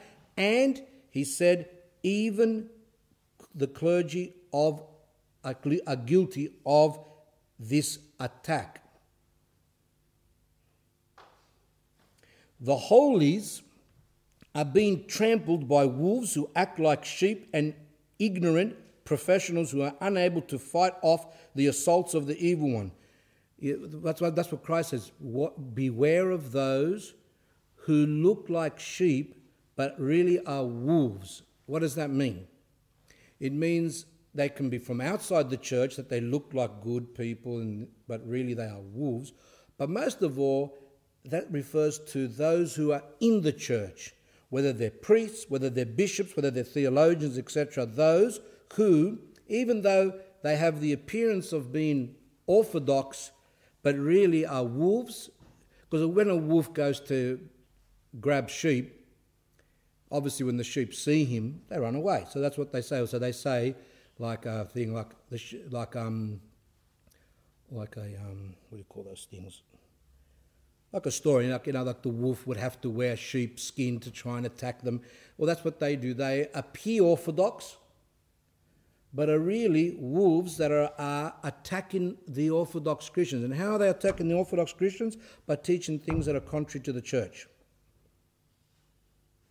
When a priest or a bishop says you can go into any church you want as long as there's a cross, you can go there, do prayers, that's a wolf in sheep's clothing.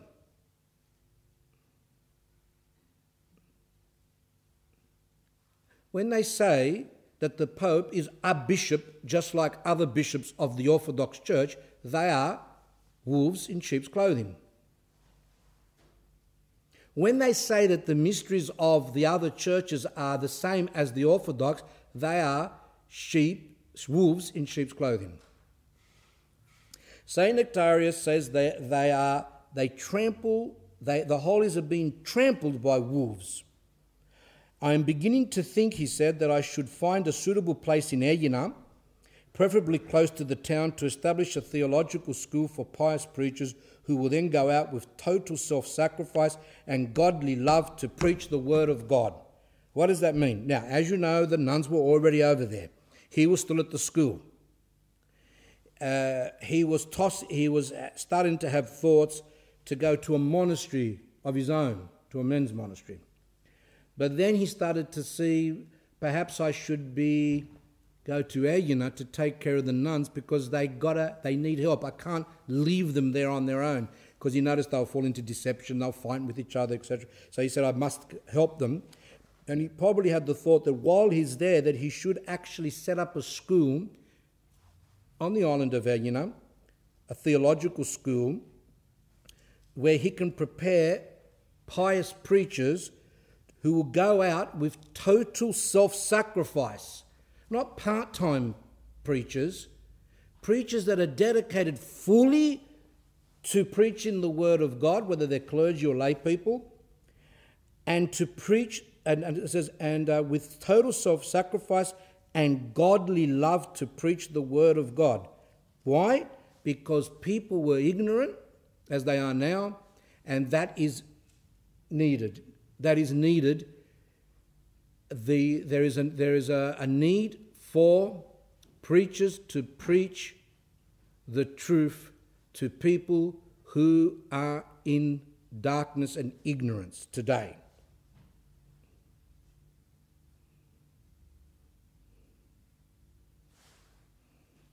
So, St. Nektarios, as I said, he wasn't scared to say the truth, and hence why he was hated. In 1904, during, again during the times at the school, he wrote another study called um, Study Concerning Repentance and Confession.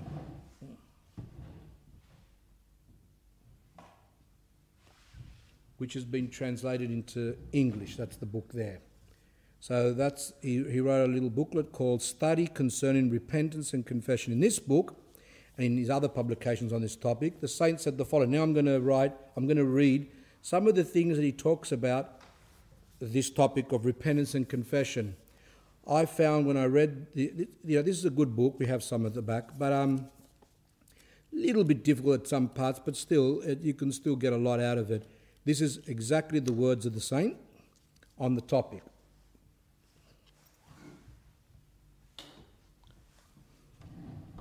So let's see what he says. Our concern for salvation must be without delay due to the approaching danger to our soul's salvation. Today, you don't even hear the word salvation. I'm sorry. I mean, it, it, it, there are, look, there are priests who do that, but they're very few. To, why? Because it's distasteful. Because if you say the word salvation, it means what? People say, What do you mean by salvation, Father? Well, it means you've got to struggle. And then they say, So what happens if you don't struggle? The priests will have to say, um, uh, You don't get saved. And then the priest has to be careful that he doesn't get his eyes scratched out. Because today, people don't like those topics. Even at a funeral, a priest can't even say. It's very hard for a priest to even say that we must struggle in Orthodox manner to be saved, and the relatives come up and say, What are you saying?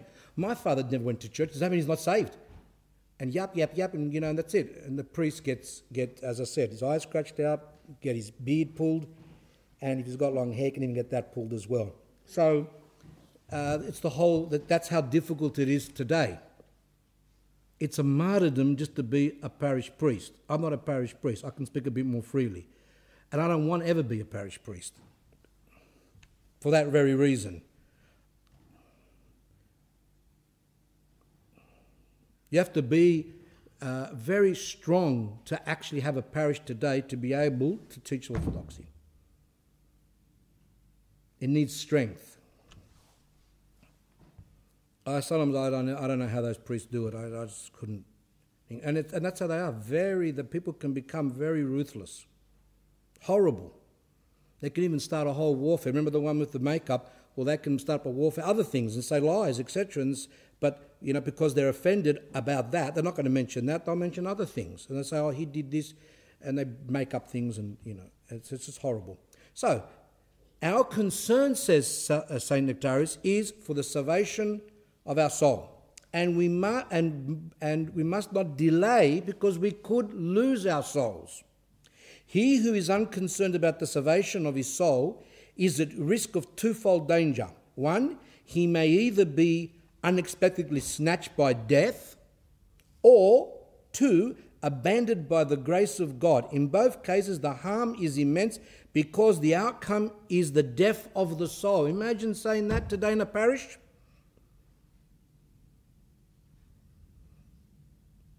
And that's why God has given the monasteries and that's why in Greece, for example, those who preached a lot of the, the truth were priest monks. And the monasteries, they always are the keepers of orthodoxy. And people would run to the monasteries to receive the pure word of God, not filtered down. These are, these are, these are very difficult things to actually, for people to hear. However, I have no committee here, no church committees.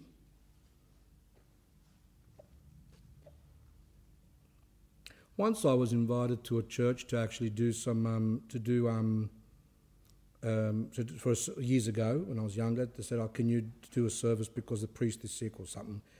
And they said, but we don't want you to preach. I go, no preaching, no service. Which one do you want? Right? Either I preach and I serve, or I don't serve at all and I'll walk out right now. That's me. I got no, I don't get paid by these people. So I got I, I don't you know I don't care about them. Two two factors are involved in man's salvation: the grace of God and the will of man. So for someone to be saved, two things are needed: God's grace, obviously, but also man's will, meaning the person's own effort. God cannot save us by force. We're not robots. In other words, if a person doesn't want to be saved, then God can't save them. Even though God is great and He can do so much, but He can't force someone to be saved.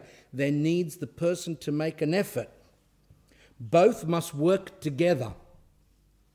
If salvation is to be attained, so for both must work together if salvation is to be attained. If you need if we want to be saved, we have to have two things: our own effort and God's grace.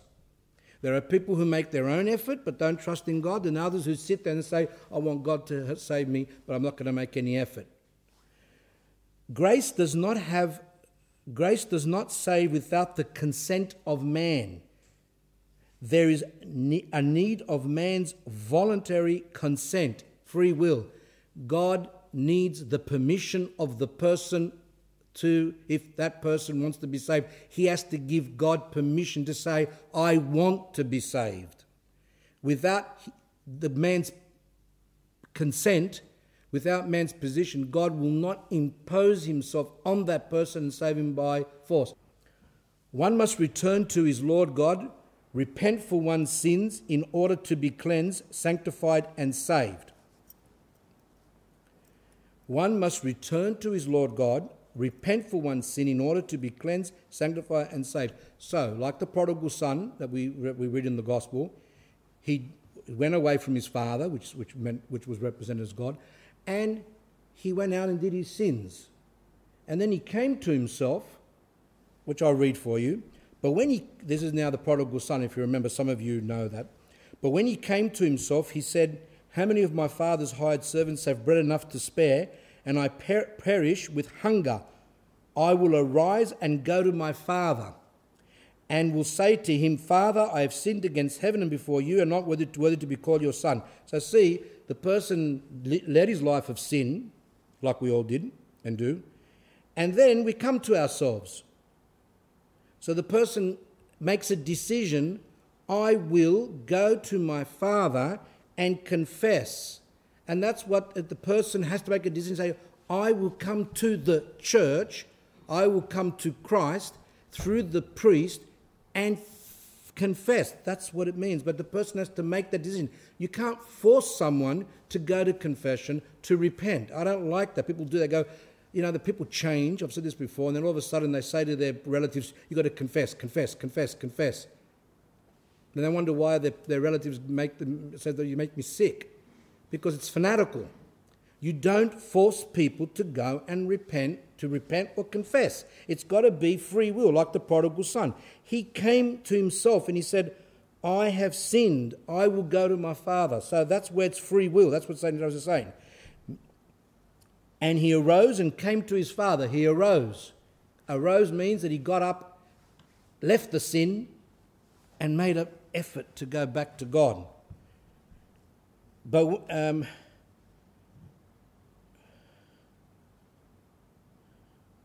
But when he was still a great way off, his father saw him and had compassion and ran and fell on his neck and kissed him. And the son said to him, Father, I have sinned against heaven and in your sight, and no longer worthy to be called your son.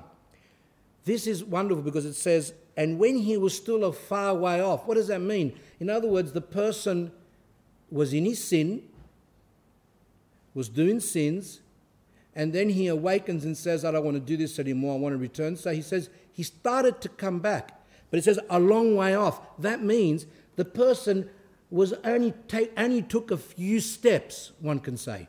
Only took a few steps. And God, seeing those few steps, ran to him.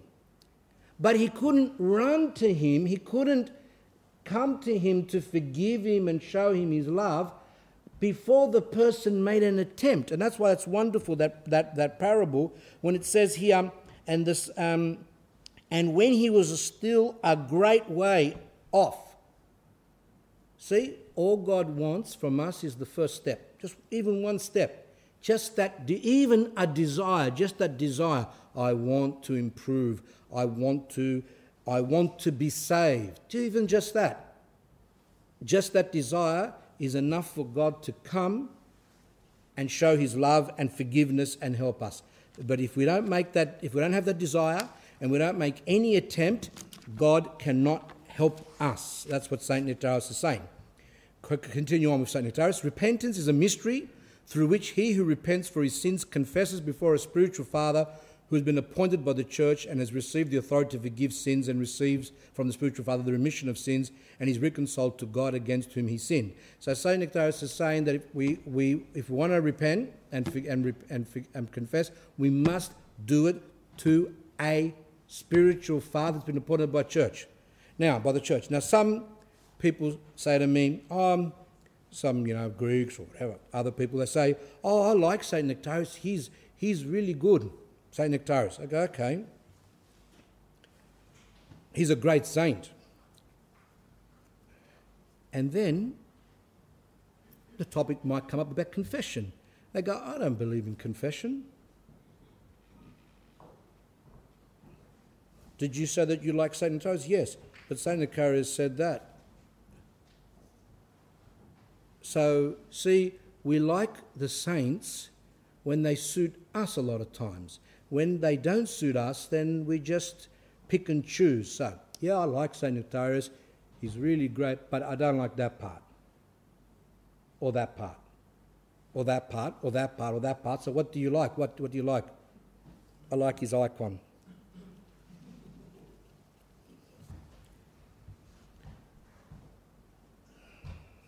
Then there's those who say, you don't have to go to church, you just have to be a good person.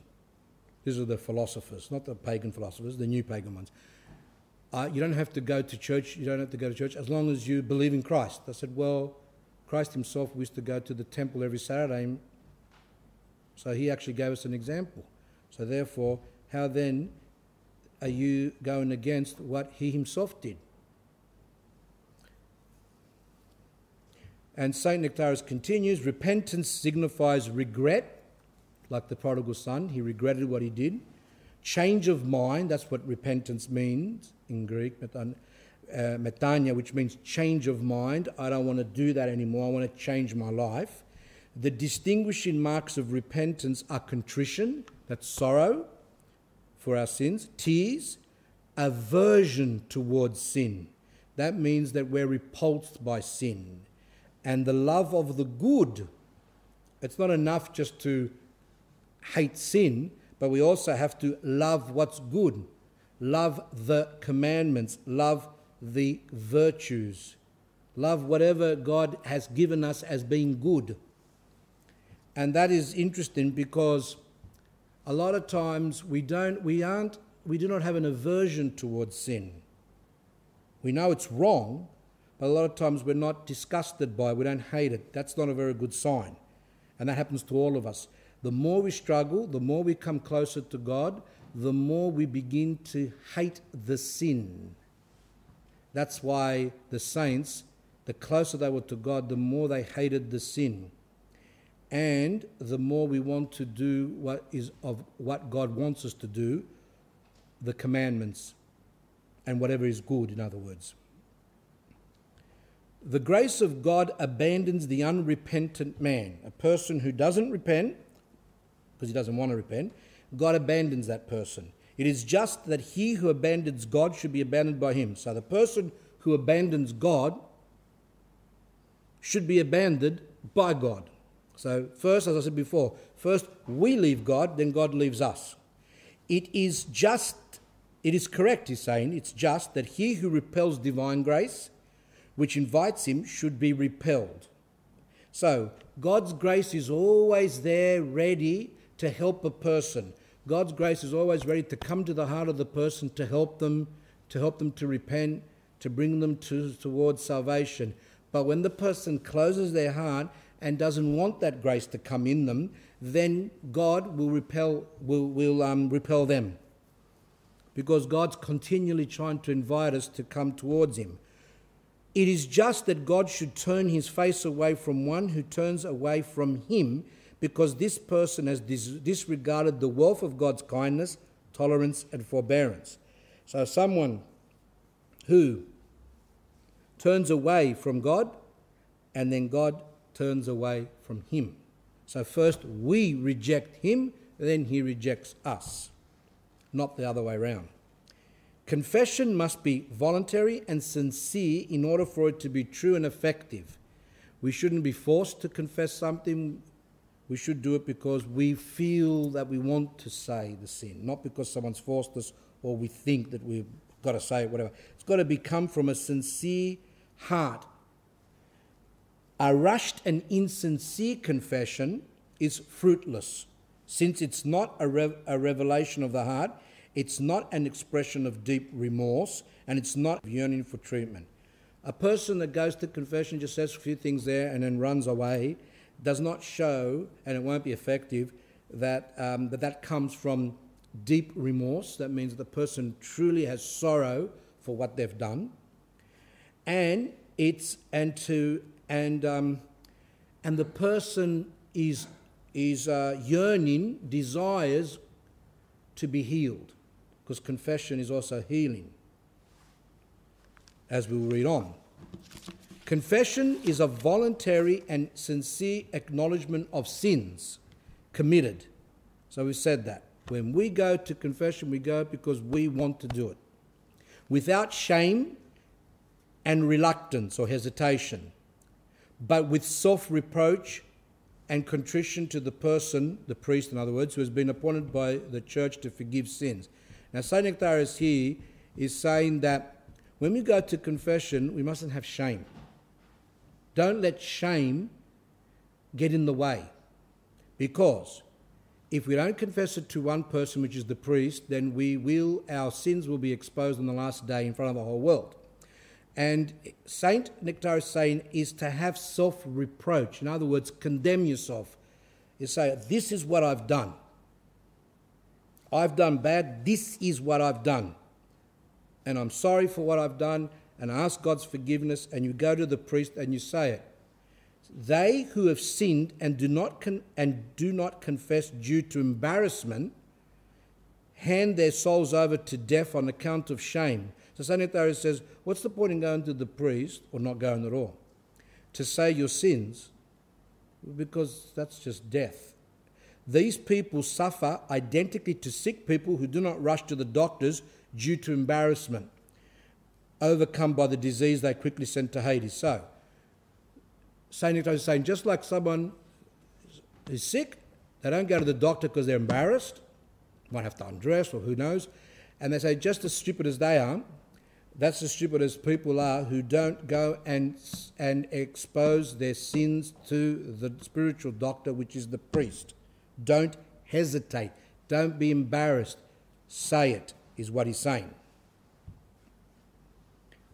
But God cannot be fooled because he knows everything. They who conceal their sins, those who don't say their sins either at all, or they go to the priest and say some, but they don't say all of them, suffer similarly to sick persons who conceal their sicknesses and do not give a true history of their doc- to their doctors because of embarrassment. So we've got the ones who go to the doctor, as I said, they either don't want to go because they're shy, or they go and they don't say everything. And he says, those, those people are silly. How's the doctor? If the doctor doesn't know. Like I was talking to someone the other day, and she said to me, Oh, I've got um, my, sometimes I can't breathe. You know, she goes, what, What's that from? And I said, I don't know. Maybe you ate sulfides or something because they're in the prunes or in the. Go, I had some prunes, yeah. I go, yeah, and what else? He goes, and I had some bacon. I go, bacon's full of, sulfides and that. And that, for some people, that can cause an allergic reaction. I go, you should go to the doctor. He goes, I've gone to the doctor. They always say, I don't know what's wrong. I've gone to the hospital. They sent me away. They go, they don't know what's wrong. They go, maybe it's a spiritual thing. I said, okay, I don't know.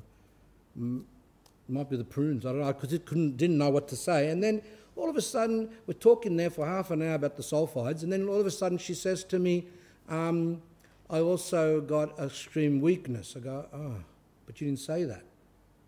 What else do you have? Oh, I've got continual headaches and I'm confused. I go, okay, and what else? From the, from the choking of the, from the not being able to breathe, now I've got, I've got chest pains. My eyes are thing heavy. I've got anger. I've got this, I've got that. I go, well, now I've got an understanding of what's wrong. You're under some demonic type of um, problem because she, oh yeah, and I said, do you feel like vomiting too? She goes, yeah, I do. How do you know? Because sometimes that happens. Now, not always. You've got to be careful because sometimes a person can um, can feel like vomiting because they ate McDonald's. So you've got to be careful. We've got to be careful of what's, what's what. But the, it's up to the priest. Sometimes it's very hard to try and discern. So I said, okay, look, very simple. Holy water, read, read some prayers, get the priest to come to your place, read some prayers, etc. Because unfortunately, this particular woman, uh, her mother in law was involved in magic. And therefore, um, there's a history there. And those symptoms that she was saying, like, pretty much sound like that. And it's funny, and she says, Oh, you know, but when I get prayers read by the priest, it's like they go away. Well, that's uh, showing it, isn't it? So it must not be physical, must be spiritual. But the thing is that just when we go to a priest, don't say one part, say everything. Don't be embarrassed, don't be shy. When we confess, be ruthless with yourself and say, I'm going to say everything. I, you know, but God, uh, so we said, confession must be performed without embarrassment and reluctance, but with boldness and self reproach. Embarrassment confirms that there exists a lack of courage. Boldness and self reproach. Put yourself down. I always tell people, you know how we get into these judging fits where we judge people and we never have any excuse, like husbands do it to their wives, wives do it to their husbands. So, for example, a husband, I've spoken to husbands and I say, look, do you understand that your wife's, you know, she's had a couple of children and she's really tired and goes, well, I'm tired too, I go to work. Well, it's a bit different. You didn't give birth. And you didn't give birth twice with a, with a span of one year. And you also don't breastfeed. and you're not getting up in the night to change nappies and to, and to feed the child, etc., etc. Yeah, but I go to work. You see, so there's no understanding, and then they become very ruthless in their in in in their um, judging. I said, just like you judge in that way, which we all do a lot of times, why don't we be ruthless with ourselves and give no excuse to ourselves and say, yes, I did this, this, this, this, this, and it's my fault, my fault, my fault, my fault, and have no mercy on ourselves. But instead, we don't do that to ourselves, we do it to others. We judge others. So that's what self reproach means. Put yourself down. If we do not struggle, we have accomplished nothing, says St. Nektarios. Then the prayers of the spiritual father are useless. The, the money that we give for paraclesis, molebens, etc., are useless. The 40 day liturgies are also useless when they are performed on behalf of an unrepentant person who has not appeased God and who still lives in sin. We are saved through contrition of the heart and true confession. So, St. Athanasius is saying that when we do prayers for someone who stubbornly continues to sin, doesn't want to repent, doesn't want to change their life, you can do as much as you want, you can give as much money as you want, and to the priest and say, Pray, pray, pray. If that person, St. Nektarios saying, has not made an effort to stop his sin and turn towards God, then the, the prayers are worthless. You can give all the money you want. He says, We are saved through contrition of the heart, means we are saved when we are sorry for our sins, when we repent and confession. The demon's desire is to destroy us, but when we repent and confess, they are unsuccessful. How beautifully written. Spiritual warfare. St. Is saying the, demon has one, the demons have one aim that no one gets saved. That's, that's their aim. That's the, all the effort that they put in is they don't want anyone to be saved. And when saint, some saints have um, spoken to, to, to the demons and and tied them by God and said to them, you know, I, I, in the name of God, I tell you, what do you, what do you, what do you, um, tell me what you do or something like that. He goes, um, he goes, well, we, um, we want to push people into the worst sins. And he goes, and what bothers you the most? What is the, what is the, what is the thing which you don't like the most? He goes, when they repent and confess. He goes, but a lot of times they go back and do it anyway. And that, that makes us feel better again. So that is a clear thing that the demons do not want any of us to repent and confess, to lead a spiritual life, to do the commandments of Christ. That's what St. Nektarios says. It's up to the person. Whoever has ears to hear, let them hear. The person who does not confess his sins will never find peace because he will never draw near to God. Now we come to this peace. The person who does not confess his sins finds himself continually under the weight of guilt and distance from God. This is why the soul suffers and pains. So, we hear people say, My soul, my soul is burning, I'm suffering, I'm a lot of times depression. As depression can be psychological, I'm talking about now when it's a different thing, when it's because a person is far away from God. St. Nektarios says that the person is, is under the weight continually, under the weight of guilt and distance from God, and this is why the soul suffers pains. That's why you can take as much medication as you want for those particular problems when it's got to do with unconfessed sins and uh, it, it does not work. As I said, there are other psychological problems that come from disturbances from young. It could be also biochemical. There's a lot of reasons. But a lot of times it also can be when a person has distanced themselves from God because of the guilt of their sin. it's, St. Nektarios says they will never find peace. I remember a cousin of mine years ago, um, she, she um, said, she was older than me, she said, I remember I was there, must have been a bit young, but anyway, I heard her, and she was beating her chest and she was going, I want peace, I want peace. But she never would go to church. And what happened, I don't know because I didn't see her later on. And that's not just her, it's a lot of people. They want peace. But peace can only be given by God when we reconcile with Him through our efforts to repent, confess, do the commandments, etc., Holy Communion. But when that doesn't happen, then don't people expect to find peace? Now you might say, but the Hare Krishnas don't commune and they're in peace. The Jehovah Witnesses, they're, they're really peaceful. They are peaceful, I must admit. And the other ones, the um, ones on the bikes, the Seventh day Adventists, uh, Mormons, whatever they are, they're very peaceful as well. Have you seen how they peace the book? They look like, some people said they look, they look like angels. And I said, I know they do, but St. Paul does say that even an angel of, even the devil can appear as an angel of light. So let's look at that. Let's look at that. Where's this peace come from? Peace can come from self esteem. In other words, a person loves themselves and they can have peace. A person can be just, just satisfied with themselves and have peace. But you know what? When things don't go right, those, that peace goes away. But St. Nektarios, when he was persecuted and slandered, and they said all those things for him, he kept his peace because his peace came from God.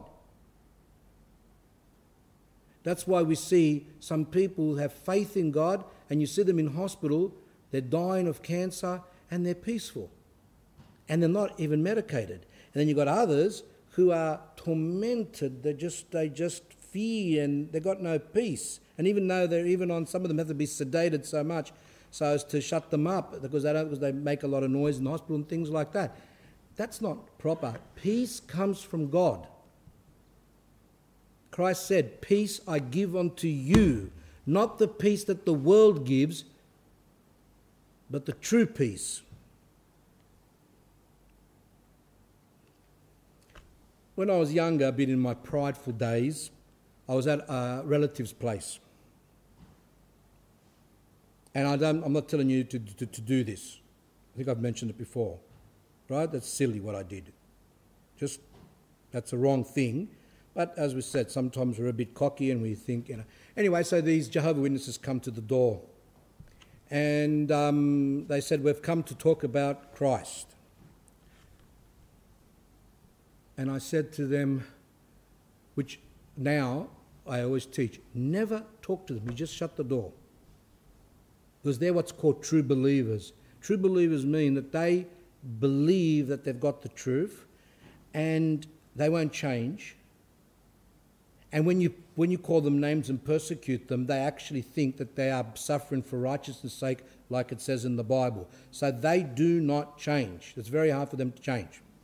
Anyway, I was being a bit silly. I was young, and I said, Well, how about this? Do you believe in this? They went back like this. There's no exaggeration. They went back, and then he fell over the fence, right? As I said, don't do that, it's not right. But that's what I did. I said, Do you believe in this? And I went like that. And that's what they, they went, like, you know, those vampire movies? Ah.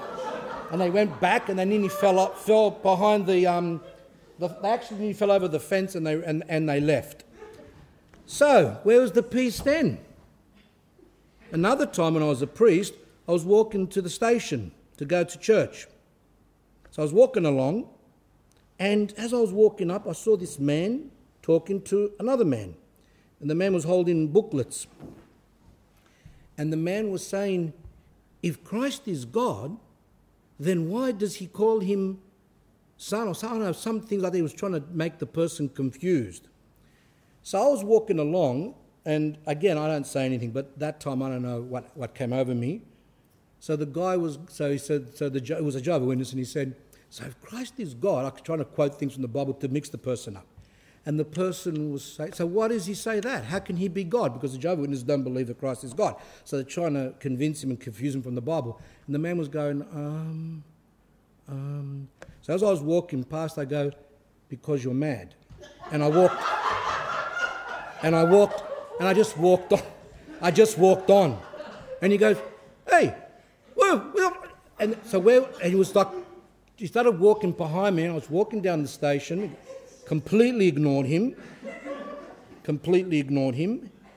But that person had no peace, you see. So, yes, they're, but Saint Nektarios and the saints, even in, in slander and all the problems they went through, they had true peace.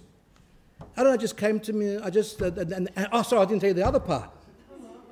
Yeah, so as I was walking past, the guy goes, so how can that be? And the guy was going, oh, oh. And he goes, I said, because you're mad. And the guy goes, that's right, because you're mad. that's, I remember that. So I helped him out.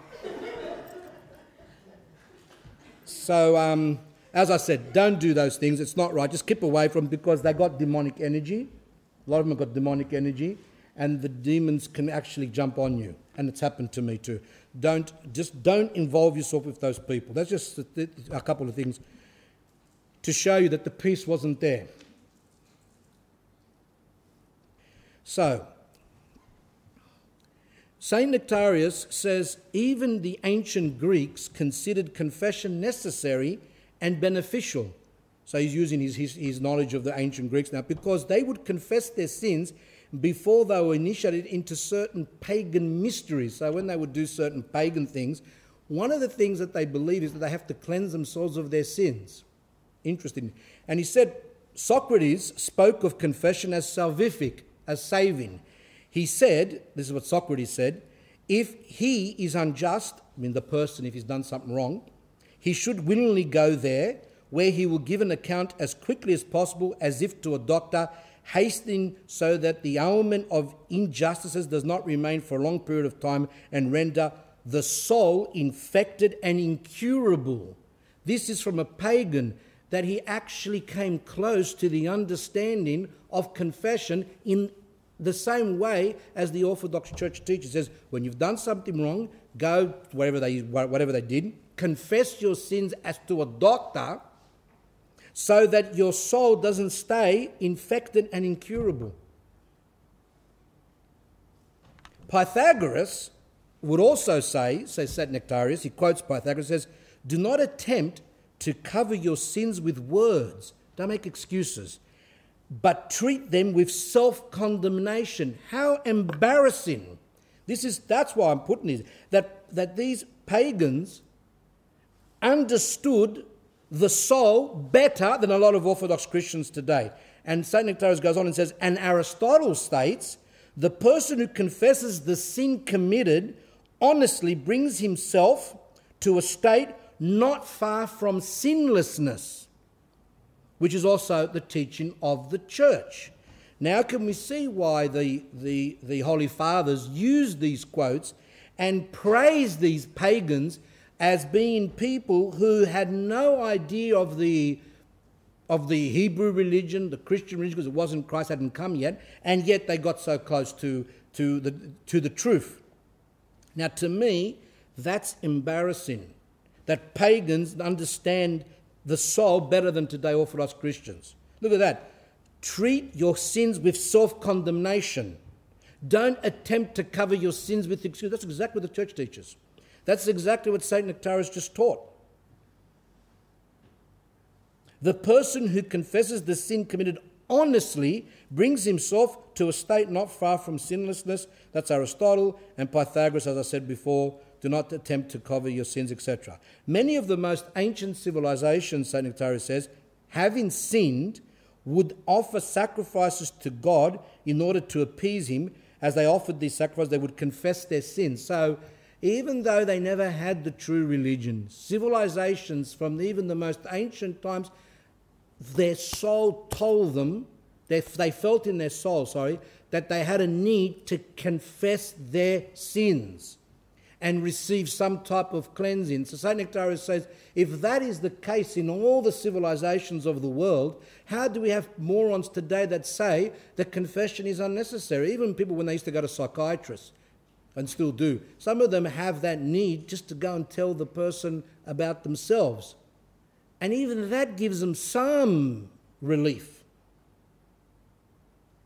So this is built in the person. So all these atheists, like Stalin and all the other ones that exist today, who say, "Oh, these things, and why should, why should we feel guilty for what we've done? And why should the Christians make us feel guilty, etc."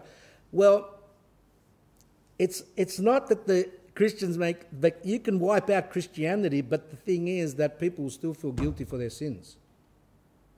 See, the gays, for example, they say uh, in their stupidity, they say. Um, that, oh, we're not happy where because people don't accept us and they put us down and they try and make us feel guilty that what we're doing is wrong. And yet, and they say, and that's why there's a lot of uh, suicides amongst the gay teenagers. They, they're pushing that so they can pass their laws. But yet the question arises in San Francisco, where it's basically free for all, do whatever you want, everything's free, no one judges you, etc., and in other countries in Northern Europe, where it's really accepted, their suicide rates are the highest. So, why are these teenagers committing suicide? And why are a lot of gays feel this that they're not happy because the world doesn't accept them? And they blame the Christians and the religion. They say it's religion which is making us feel this way because they judge us. And the answer to that is as follows The reason why they feel bad and they don't feel peace is because within them, regardless of what anyone says, they themselves know that what they're doing is wrong. It's deep in their soul. They know that it's wrong. And that's why they've got that guilt.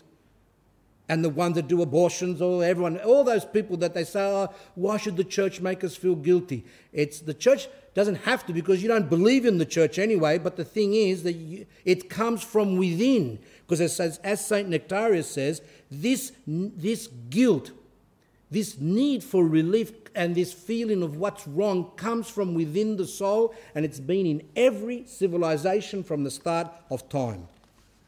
The person, St. Nektarios says, who does not confess, confess his sins will never find peace because he will never draw near to God.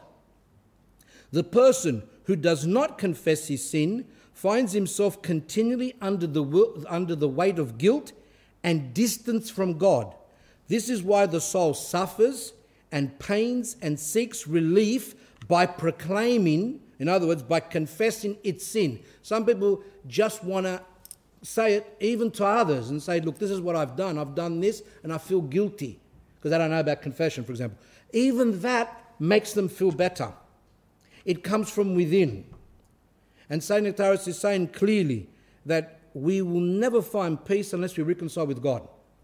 And that is a lot of the reasons why today people are the most, the more, you see, these atheists are saying, yippee, you know, everyone's going away from the church because the church is bad and people less and less believe in, in religion. Like Australia now, it's only like a, a smaller percentage than before which are Christian. So they say that's good. That's good because religion is sickness and it makes people sick and it makes people guilty, etc. But what's happening? A lot of children that have been brought up in these last few decades have had nothing to do with religion. Their parents don't believe, they never went to church. These children have nothing to do, now they're grown up. And what's happening in society today? Happiness. They haven't got any religion to make them feel guilty. They don't read the Bible. So, but yet, but yet, we have so many people depressed and so many people committing suicide and so many people have no life in them. You look at today, 16, 17 year olds, but they should be bright and beautiful from, you know, like vibrant from youthfulness, and yet they look old that's the truth, unless someone's got a better explanation. What's the explanation? Stalin tried, he tried. He really wiped religion out from Russia, Ukraine, etc., all those, all those countries that he that he took control of illegally. Hmm? And what happened after? They all came back to the church. Why? Because, because the atheism gave no life, gave no peace, gave nothing. That's why when you see someone dying in hospital doesn't believe, what's, what's their hope? They haven't even got nothing. They don't even believe in the next life. They're just dying there. So, what's the solution for them? Pump them with drugs so they can be out of it when, when they die. Break uh, for two, three minutes. And then we have another little session, and then we're finished.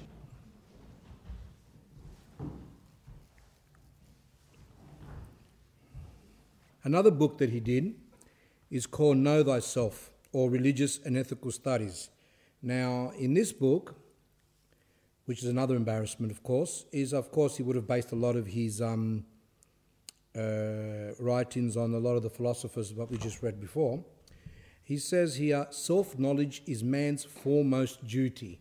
Now, why this is important is because today people are scared to know themselves. See, those philosophers, all those pagans, they really strove to know themselves and had a thirst for the truth.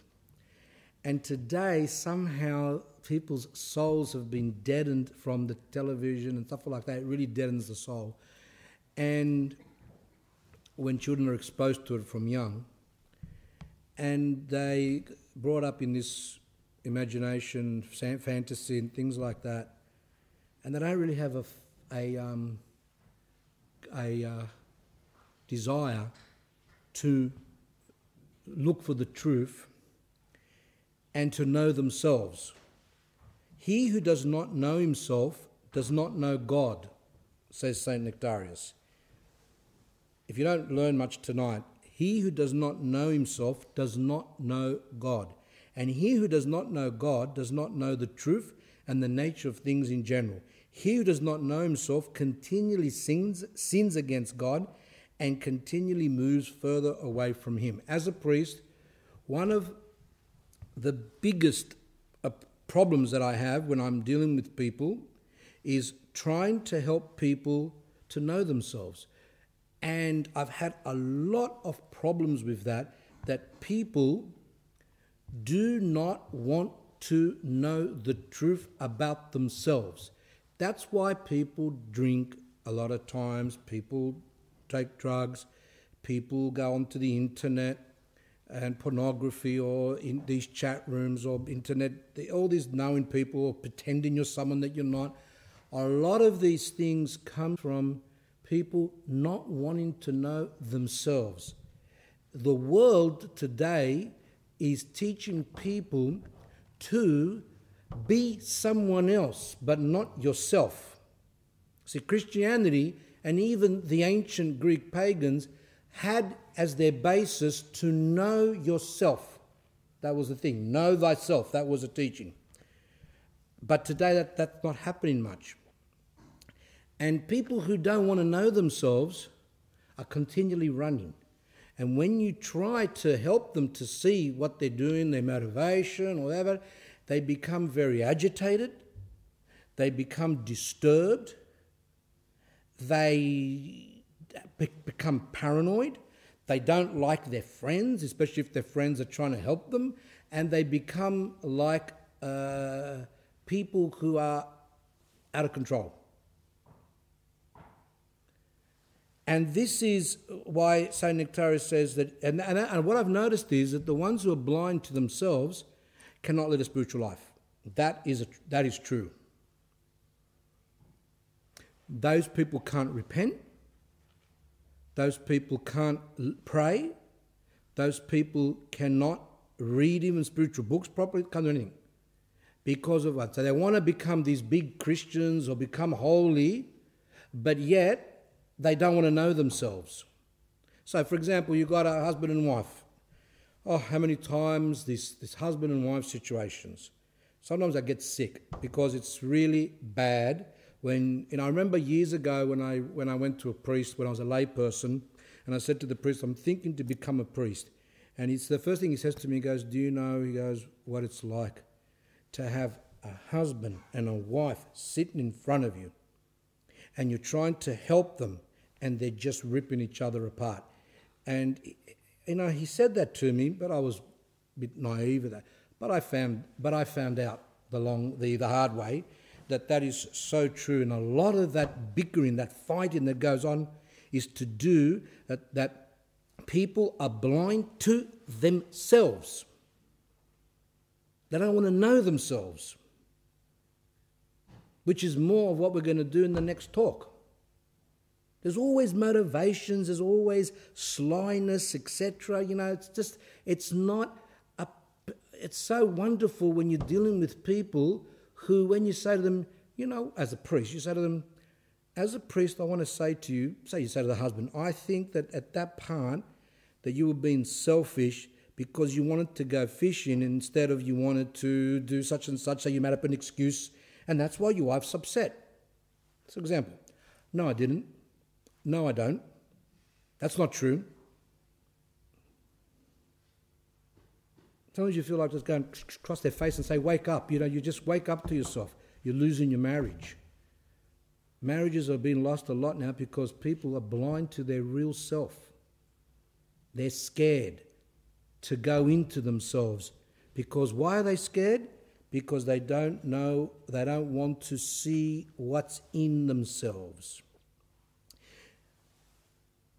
Elder Porphyrios, the Greek Holy Father, said that psychiatrists did a wrong thing.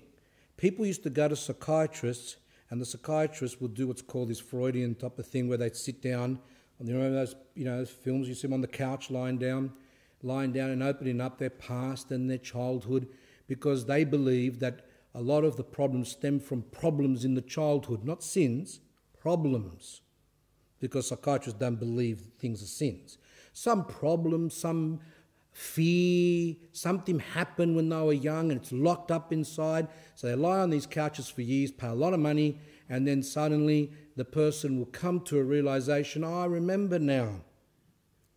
My father didn't love me, or whatever, or he loved my, my, my brother more than me, or something there.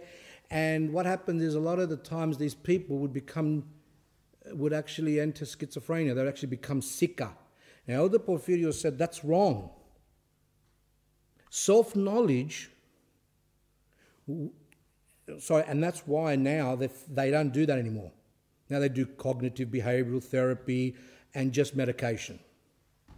So, medication, they say, okay, look, you've obviously got something wrong with you inside, which of course they don't think it could be even sin. There could be some trauma there, but let's say they don't consider sin. So they give, give them pills to make them not feel. Don't feel the pain.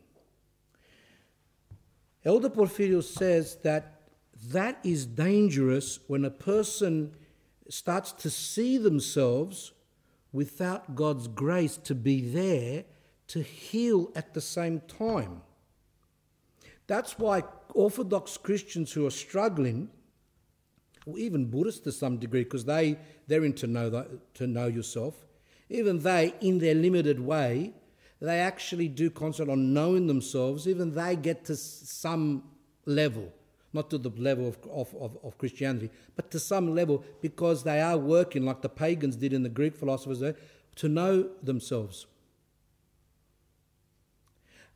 Elder, uh, um, but their religions believes in reincarnation, that they're going to come back as onions and come back as butterflies and come back as goannas and who knows what else. But that's, a, that's another thing. But they do have that thing about knowing themselves.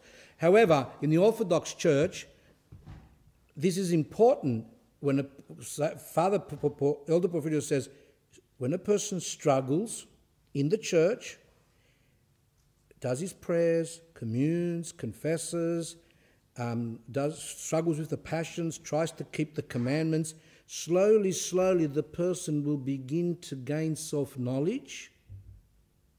And because they have the grace, they will have the humility to be able to say, okay, I can see that I'm a really, really selfish person. I'm a person who um, hates people or whatever. You know, they begin to see themselves. But because they've got the grace and they understand that God forgives and there's healing, they don't become devastated and jump off cliffs or commit suicide or go into mental institutions. But the others that go into these places and they open up themselves, they're opening up and they find in there things that are not very pleasant. An Orthodox Christian shouldn't be scared to find out about themselves. Whether they've got fear, whether there's, there's some other passion in there of jealousy or hate or envy or revenge. That's why when I've dealt with people in the, in the years when they've come to the church, they say things like, I never knew this was in me. I never knew this was in me. I said, okay, so what? But I'm really evil, I'm really bad. I go, but if when we read the lives of the saints, what do we notice? That they themselves confessed those things. They themselves realized that they had these things in them and they struggled. That's why they wrote those prayers. Those prayers didn't, they didn't write the prayers for us, where they say, God, forgive me who am evil and I've got this passion and I'm jealous and I've got hate and I don't care about my neighbor and I'm always thinking about myself. All these prayers that they wrote, they wrote from their own heart, which means that they felt it themselves. When St. Seraphim Sarov says, that he's a sinner, or St. Nektarios, they mean it. They felt it because they went into their souls and found all that rubbish and all the passions that were in there and slowly, slowly struggled with them. It's wrong and it's um, blasphemy to actually think that our passions and our sins are so evil that God's not going to forgive us. So, in the church is where we, is where we struggle, and with the grace of God, which is healing, when we do realize ourselves, we don't fall into despair. But we say, yes, that's what I've got, but God will God forgives everything, and I'm going to struggle. And sometimes we might struggle with these passions which are hidden inside of us for years. Some people say, I've been in the church for 20 years and I've still got that passion of jealousy. So what? What does that mean? Goes, oh, what is, doesn't matter. You keep on struggling. As long as you're struggling and repenting and struggling to overcome it, that's all God wants. So, we have to know ourselves to come closer to God. The more that we don't know ourselves, the farther we are away from Him. Those who know themselves, says St. Nektarios, are praised in writings as wise, even, and that's when he says writings as wise, he means the ancient Greek philosophers and biblical writings, etc. The writer of the Proverbs, Solomon, says, quote, Those who know themselves are wise. And he advises, Know thyself and walk in the ways of your heart blameless. We can only begin to come closer to God when we know ourselves and admit the things that are in us and repent, etc., and ask God for healing. And then St. Nektarios ends by saying, Clearly, then, self knowledge is the beginning of all virtue and wisdom. Spiritual life starts with self knowledge. That's why a lot of people that are got some psychiatric problems that they find very difficult the spiritual life because sometimes the reason for their problem is that they don't want to know themselves.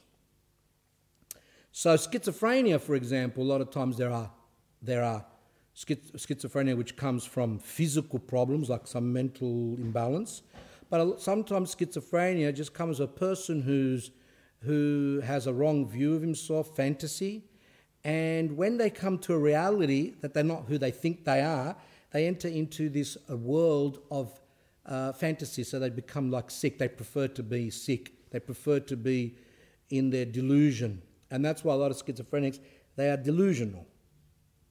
They're delusional because, as the saints say, that there's like a, a lot of psychiatric hospitals that have got a lot of these people. A lot of them are people who say, I'm God, I'm Christ, I'm Buddha, I'm special, I'm rich, I'm this, I'm that. Delusion. Because, I don't know, some of them from television, some of them from even the way they were brought up. Some of them I've, I've actually noticed that when you kind of know a bit about their life, they say, Oh, from young, my mother used to say, You're the best. You are the best. No one is like you. You're fantastic. You're great. You're this, you're that. And that poor child, when he's been brainwashed like that from young and he grows up, he believes that he's the best. So they say to them, like, um, like this guy that I met, and he said to me, um, well, he's sick, he's, he's uh, schizophrenic now. He actually said that um, he believed that he was a soccer player and that he was going to become, he was going to go to Serbia or somewhere to become in the, in the, in the team that plays with the world, whatever, whatever they are. I don't know much about those things. Oh, All I know is they kick a ball around. But anyway, he wanted, he thought he was going to go over there and become this thing. And then when he, when he, when he realized that he wasn't who he thought he was, what his parents pumped him to believe that you're going to be this big soccer player, he actually went into like a psychological crisis and he just stays in his room. So he doesn't go anywhere because he can't cope with knowing himself. So this is why there's a lot of sickness. And of course, as I said, there are people who have been traumatized, who were sexually abused, emotionally abused when they were young. I'm not talking about them. They are, they are, I'm talking about people who just from sins and their own pride don't want to know themselves. There's a lot of reasons why people are sick. I'm talking about one part of that population. And in a way, we've all got some form of schizophrenia some way because whenever we don't want to know ourselves and whenever we prefer to be in a delusion, that's schizophrenia. That's what the church says. That people prefer to be in a, in a fantasy. Christianity disapproves of and opposes those who are under the influence of imagination, says St. Nektarios.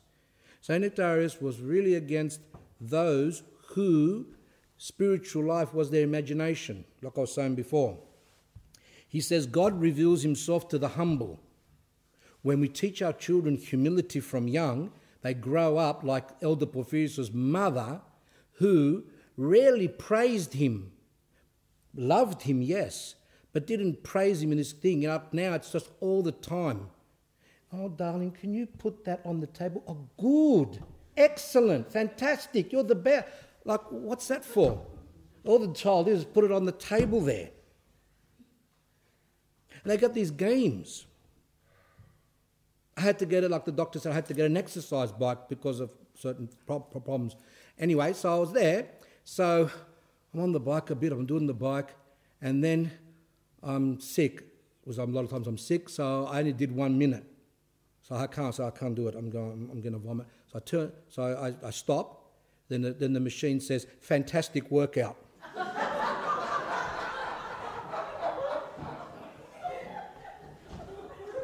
Fantastic workout. I go, oh, thank you. One minute is like, the, like that. And that's what they've got in the children's games or on the internet. It's like, good.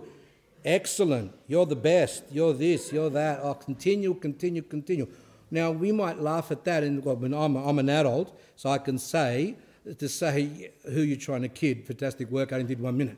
But children, when they're brought up from young in that, in that brainwashing, that's what they grow up to be. And that's why a lot of children today are sick. When they enter adulthood, because schizophrenia comes at the early, early, sorry, towards the late teenage years and early 20s, what happens at that time? School finishes, go into adulthood. They've got to now become like a, they've got to work. They got to, uh, you know, some of them get married and this and that. They can't cope with the reality. They get sick. What's the reality? The reality is that they're not who they think they are. So they watch TV and they say, okay, that's a relationship. That's how relationships are when I get a girlfriend or when I get married, I'm going to be this, this great person, this great lover, etc. They enter the relationship and find out that marriage means taking out the garbage. Marriage means to change nappies. Marriage means to, for the man to sometimes to understand that the woman has certain emotional times for, for the woman to understand that the man sometimes is closed. When you've got a lot of problems at work, men come home, they're closed, like a clam, you know, like an oyster, when they're closed. So they're closed. And then it's come and go, but this is not what I saw on TV. I saw these all these images and on the internet that it was all to do with certain things. No. So they can't they can't cope. So what do they do? They go into divorces or they have a internet relationship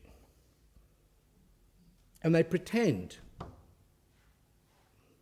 So you've got old codgers there that are 40, 50, 60 that are pretending that they're 22 year old guys. Or women, the same thing. So they, they, they, they say, okay, my family's asleep. I'm going to go to the internet now and live my, my fantasy life. So as they take out their dentures, because they're so old, they start typing like this and pretending that they're 21 years old or something. You laugh, don't you? It's interesting, but let's not hope that, that, that some of you. 80% of divorces in America now is due to Facebook. Right? People have been killed because of those type of things. There was an old, there's an old woman in America who did that. And she got one guy, she was pretending to be a 16 year old, which was really her daughter. And she was talking to another guy who was pretending to be a 22 year old, but he was really 50 and then she, when she found that out, then she went with another guy who was a friend of the 50 year old. So they and through that, she made them jealous. And then she made the, she actually pushed the 50 year old to kill the, the 20 year old, the 22 year old guy. Both had never seen her, and it was an old bag that was living in another city, right? Who was around 50, who was posting pictures of herself as, a, as her 18 year old daughter. Daughter didn't even know. So these are people who've gone, and you might say, oh, that's exceptional. It's not. People have lost themselves. People need to be in a fantasy because a lot of times when we were young, what was our, how were we brought up? In front of the television, everything was fantasy. Whether it was Bugs Bunny or whatever, everything was fantasy. None of that thing was real. And that's how people are used to. They have to be in the fantasy. So the internet world is, a, is can actually fulfill that fantasy. Okay, in 1911 1912, St. Nektarios published two volume masterpiece of 566 pages entitled a historical study concerning the causes of the schism, concerning its continuation, and concerning the possibility or impossibility of the union of the two churches, the Eastern and the Western. So, some of you don't know, but in 1895, the Pope of Rome, in, mem- in kind of jubilee, in his um, celebration of his jubilee, what's jubilee? Is that 30 years? Uh, I think the Queen's Diamond Jubilee was 60. So I don't know what a jubilee. Does anyone know? Jubilee.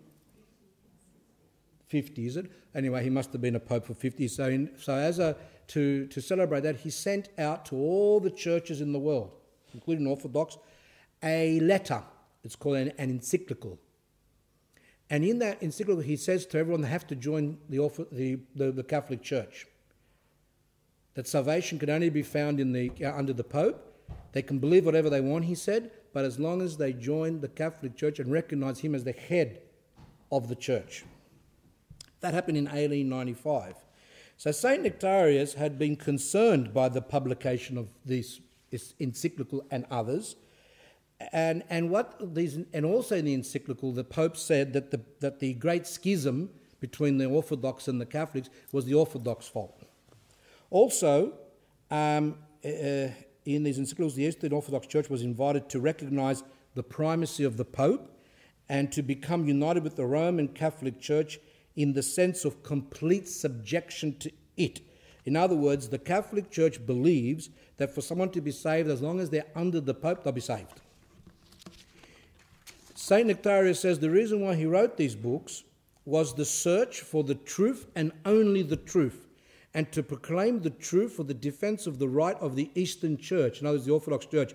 St. Nektarios says, I want to examine the history of exactly what happened in, in when the church is split. Because, he says, clever like theologians of the Western Church, clever lawyer like theologians of the Western Church who deal with the subject in a legalistic manner, as if they're solicitors, blame the Eastern Orthodox Church for the causes of the schism and the reason why the churches still to this day are apart. So, he calls the theologians of the Western Church clever, lawyer like, and that's true, that's how they are. Now, I'll tell you what that means. Uh, politicians, a lot of them were ex lawyers. So, those politicians you can, they can do something, they can say something wrong or do something wrong and they're caught out. And then when the media goes up to them and says, you know, you did this, you said that, They go, no, no, and they just make up this whole story and distort it, and that's what lawyers do. They're very good at Some of them are very gifted. They can actually distort the truth. That's why a lot of people get off because they've got intelligent barristers or big law, trial lawyers in America here. And if you're rich, you've got to give a lot of money. You get the best, the, the best, um, the best. Um, I've got to not use the inappropriate word. The best um, liar, basically, and that comes along and defends you, and you get off because they can make the jury believe anything. They can make the jury believe that that there exists some leprechauns. They, they can do whatever. They can do anything. So that's what he's saying about the West, these Western, the Western church, is that the theologians get all the dogmas of the church and all the teachings, even the angel, and they distort it, and they come up and say the church has always believed that the Pope is the head of the church. He writes, I wrote this study so as to reveal the distortion of the truth against the Eastern Orthodox Church the various insults to which she has been subjected, and the trampling down of her rights by fanatical followers of the Pope. Their arrogant and unjust expressions, how they, how they talk about us, being distortions of the truth and justice against our holy church and her hierarchy, are based on the notion of papal supremacy. Because papal supremacy means that the Pope is the head of the church. This is unheard of. This is not how it was.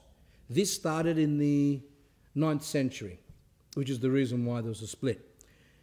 Um, St. Nektarios outlines in his work that the, that, the, that the Pope's followers have persecuted the Orthodox. We know that in Serbia. During the Second World War, nearly one million Orthodox were killed the, um, the problem with the Uniates in the Ukraine, where they dress up like Orthodox but they're, but they're Catholics, tricking people and making them come to the Catholic Church. The, the biggest enemy of the Orthodox Church for centuries has always been the Roman Catholic Church. That's, a, that's, that's, a, that's the truth. Now, we don't blame the ordinary people, who people who believe in their own way um, what their church we are looking at the institution of the papacy, not the ordinary people that believe in Christ in their way, So We're not talking about them, we're talking about the institution of the papacy. They are, remember what I said to you in a few talks before? Greece, the Orthodox, the Byzantine, the Byzantine Empire had two choices either to go under the Pope and get help from him against the Turks, or to go under the Turks. The Pope said, I'll send you my army to protect you from the, um, from the, from, from the Turks. This is back in the 1300s when they were attacking all different areas of the Byzantine Empire. The Pope said, I'll send you the army, but only under one condition you, you, you come and kiss my slipper, that you recognize me as the head. And the Orthodox said, no. Said, better to be under the turban of the Turks than under the, the mitre, the tiara, the, whatever they use, of the Pope. Because, as I said before, the Orthodox say the Turk, you can always bribe them. You can give them money and bribe them. Can't bribe the Papists. The Papists have a mania to convert to people of the Orthodox Church to their church, even to the point of killing people and torturing them, as we know. So the Orthodox chose to be under the Turks, and they were under the Turks, even up to Serbia, Bulgaria, a lot of those, 500 years. And the bottom of Greece there, the southern area, 400 years. And yet, orthodoxy came out of it. If we were under them, there would be no Orthodox church left today. That's, that's the difference. His study of the causes of the schism leads him to the following conclusions.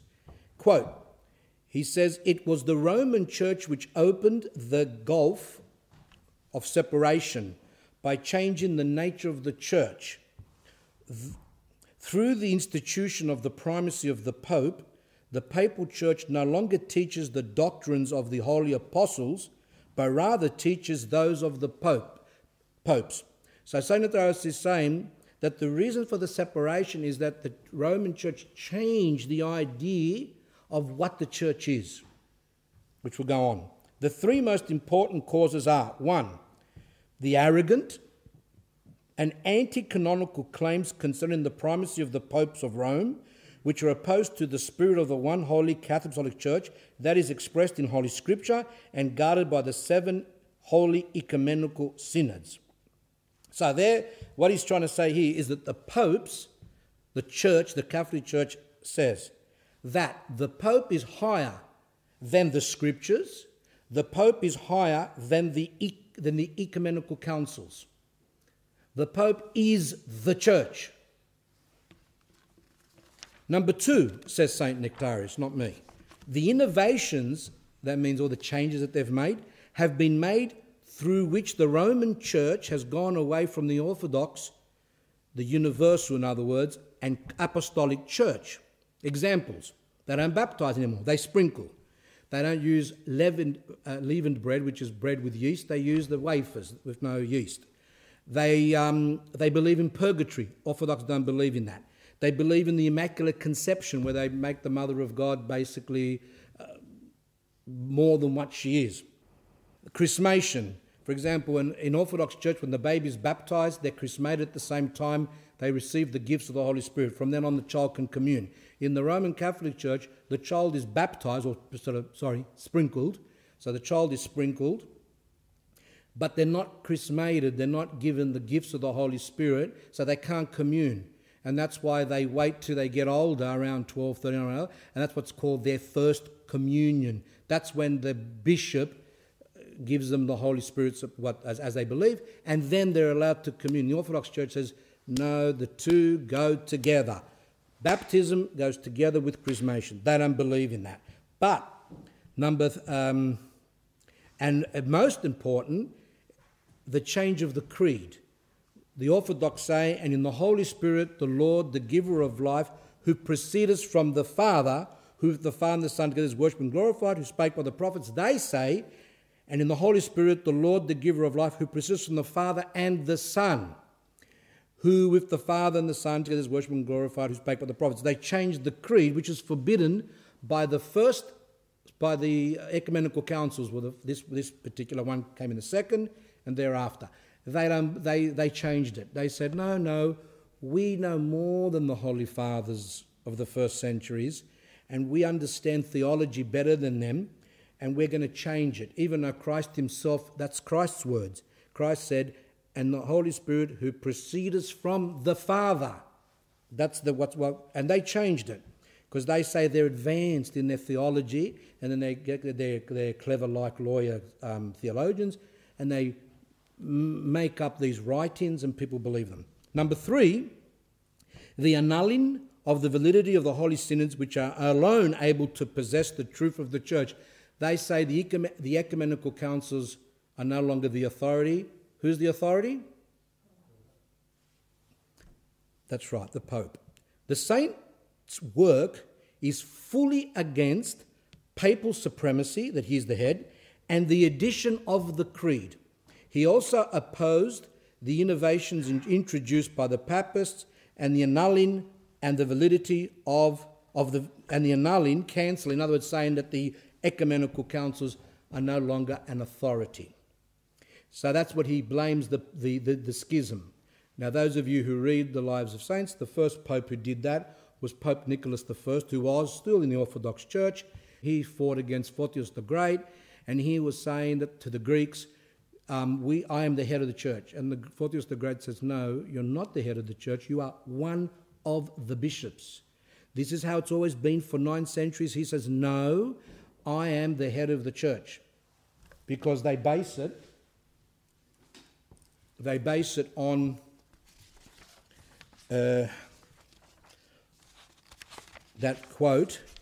It says there that um, thou art Peter, and upon this rock I will build my church. When Christ, when Christ asked Peter, Who am I? And he says, You are the Son of the living God. And Christ said to him, Thou art Peter, and, and upon this rock I will build my church the Catholics come along, the Roman the Papists, and say, see, that means that Peter is the head of the church. But that's not correct because the, the church of the first nine centuries always taught, and they know that. No father, no holy father of the first nine centuries ever said that. All the holy fathers church knew that what it was meant by the confession of Peter that Christ is God is the foundation of the church, not Peter himself. And therefore, they have distorted that. And by the way, this is what they think about the Pope. They say that he is the prince of the universal church and the infallible judge means that he doesn't make mistakes. That's, that dogma came, I think, in 1870. That he doesn't make, when he sits on his throne, he doesn't make mistakes. Whatever he says is from God. But we say, no, no, no, bishops can make mistakes. Ecumenical councils don't make mistakes. Where all the bishops from all around the world get together. That's what is the authority of the church not one bishop, because we know that even bishops that were of Rome in the past made mistakes and taught heresy, as well as other bishops in the Greek church or whatever. No bishop has the right to change dogmas and to do whatever he wants and to be in charge. That's why our church is safe. The Patriarch of Constantinople, for example, he cannot go to Russia and boss Russian the Russians around. He is, we say, but he's the head of the church. He is the first among equals. In other words, he's given because he's from the ancient city of Constantinople. We say he is the first in just honor, like in like position. But the church, every bishop is equal. He doesn't have authority. With the Pope, he had no authority. He was just given when they would sit together like they would say, okay, the Pope being from Rome, he could be first, and then Constantinople, and then Alexandria, and then, I don't know, Antioch, Jerusalem, I can't remember the order. So today, when Orthodox bishops get together, the first bishop is that of Constantinople. The second one will be whatever, whatever, whatever. And the second, third, fourth, fifth, sixth, they have order, just for order. It doesn't mean that one is superior to the other. But they're trying to say that um, that thing. As I said, that um, he's infallible, um, that he is the successor of apostle of the apostle Peter and vicar of Jesus Christ on earth. In other words, that they say Christ is in heaven. It's like they're saying Christ is in heaven, but on earth it's the Pope. But we say the, the, the church is the, is the body of Christ. So, now, something which is very important for us to um, ask will there ever be union? Because we know today that a lot of the churches are in the hands of ecumenists. They are wanting this union. There are um, ecumenists everywhere. There's ecumenists in the Serbian church, in the Greek church, in the Russian church. There's a, not all of them, but there are some who have that notion that we're going to join together. Of course, we want to join together as long as they join under the teachings of the Orthodox Church because we haven't changed anything for the last 2,000 years. If they want to, to do that, then we join. But if they want to join and they can just believe whatever they want, so in other words, we say to the Protestants, you come and join with us, doesn't matter what you believe. Yes, we believe in the Mother of God, we venerate her, you blaspheme her. We say that we commune body and blood. You say you commune of bread and wine. How can we be together? Anyway, well, that's what I'm saying, but let's see what St. Nektarios says about the union. That's a big burning question. He was asked that question. St. Nektarios, do you think that one day the Roman Catholic Church will unite with the Orthodox Church? Because there was even ecumenism in those days started. Now it's gone to the point of madness. Now they don't just try and join with um, just with the Roman Catholic. Now they're going to join with Hindus, Buddhists, Jews, Mu- Muslims, um, everything. Fire worshippers. They just all pray together, and we're all going to join one day. That's blasphemy. So, who should we listen to? Should we listen to the bishops or the clergy, some of them who say we, that we will unite? Yes, the union will occur. Or should we listen to people like St. Justin Popovich, St. Nektarios, and all our great saints whose relics are incorrupt, who do miracles, who are enlightened by God? Or the modernists of today that have got positions high in all churches and are scandalizing the faithful, telling them all these ridiculous things. One person he said to me one day, Oh, Father, I have a thought. I have a thought that you're against bishops. I don't know, but you know, I don't want to believe it, but I think that you're against bishops. And I said, You're wrong. I am.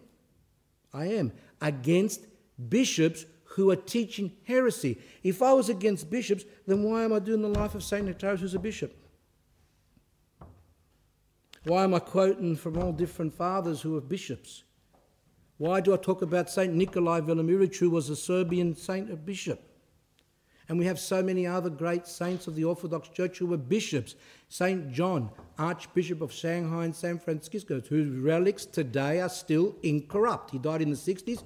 He's over there in San Francisco. Why does he? I forgot to mention the other day. Why did his body remain incorrupt? So many other saints didn't. Why? Because he was the bishop of one of the most sinful cities in the world, which is San Francisco.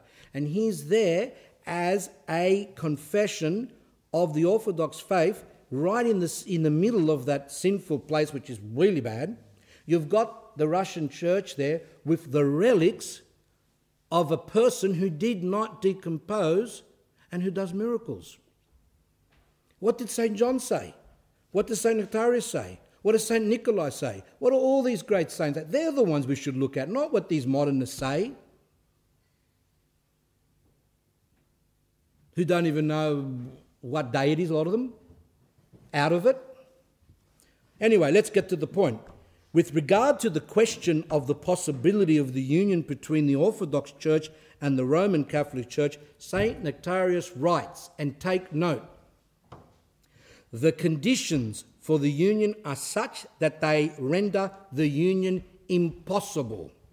Because, he says, each church asks of the other nothing but the negation of itself. I'll explain that in a minute. For the Western Church is based on the primacy of the Pope, while the Eastern Church, the Orthodox Church, rests on the ecumenical councils, synods.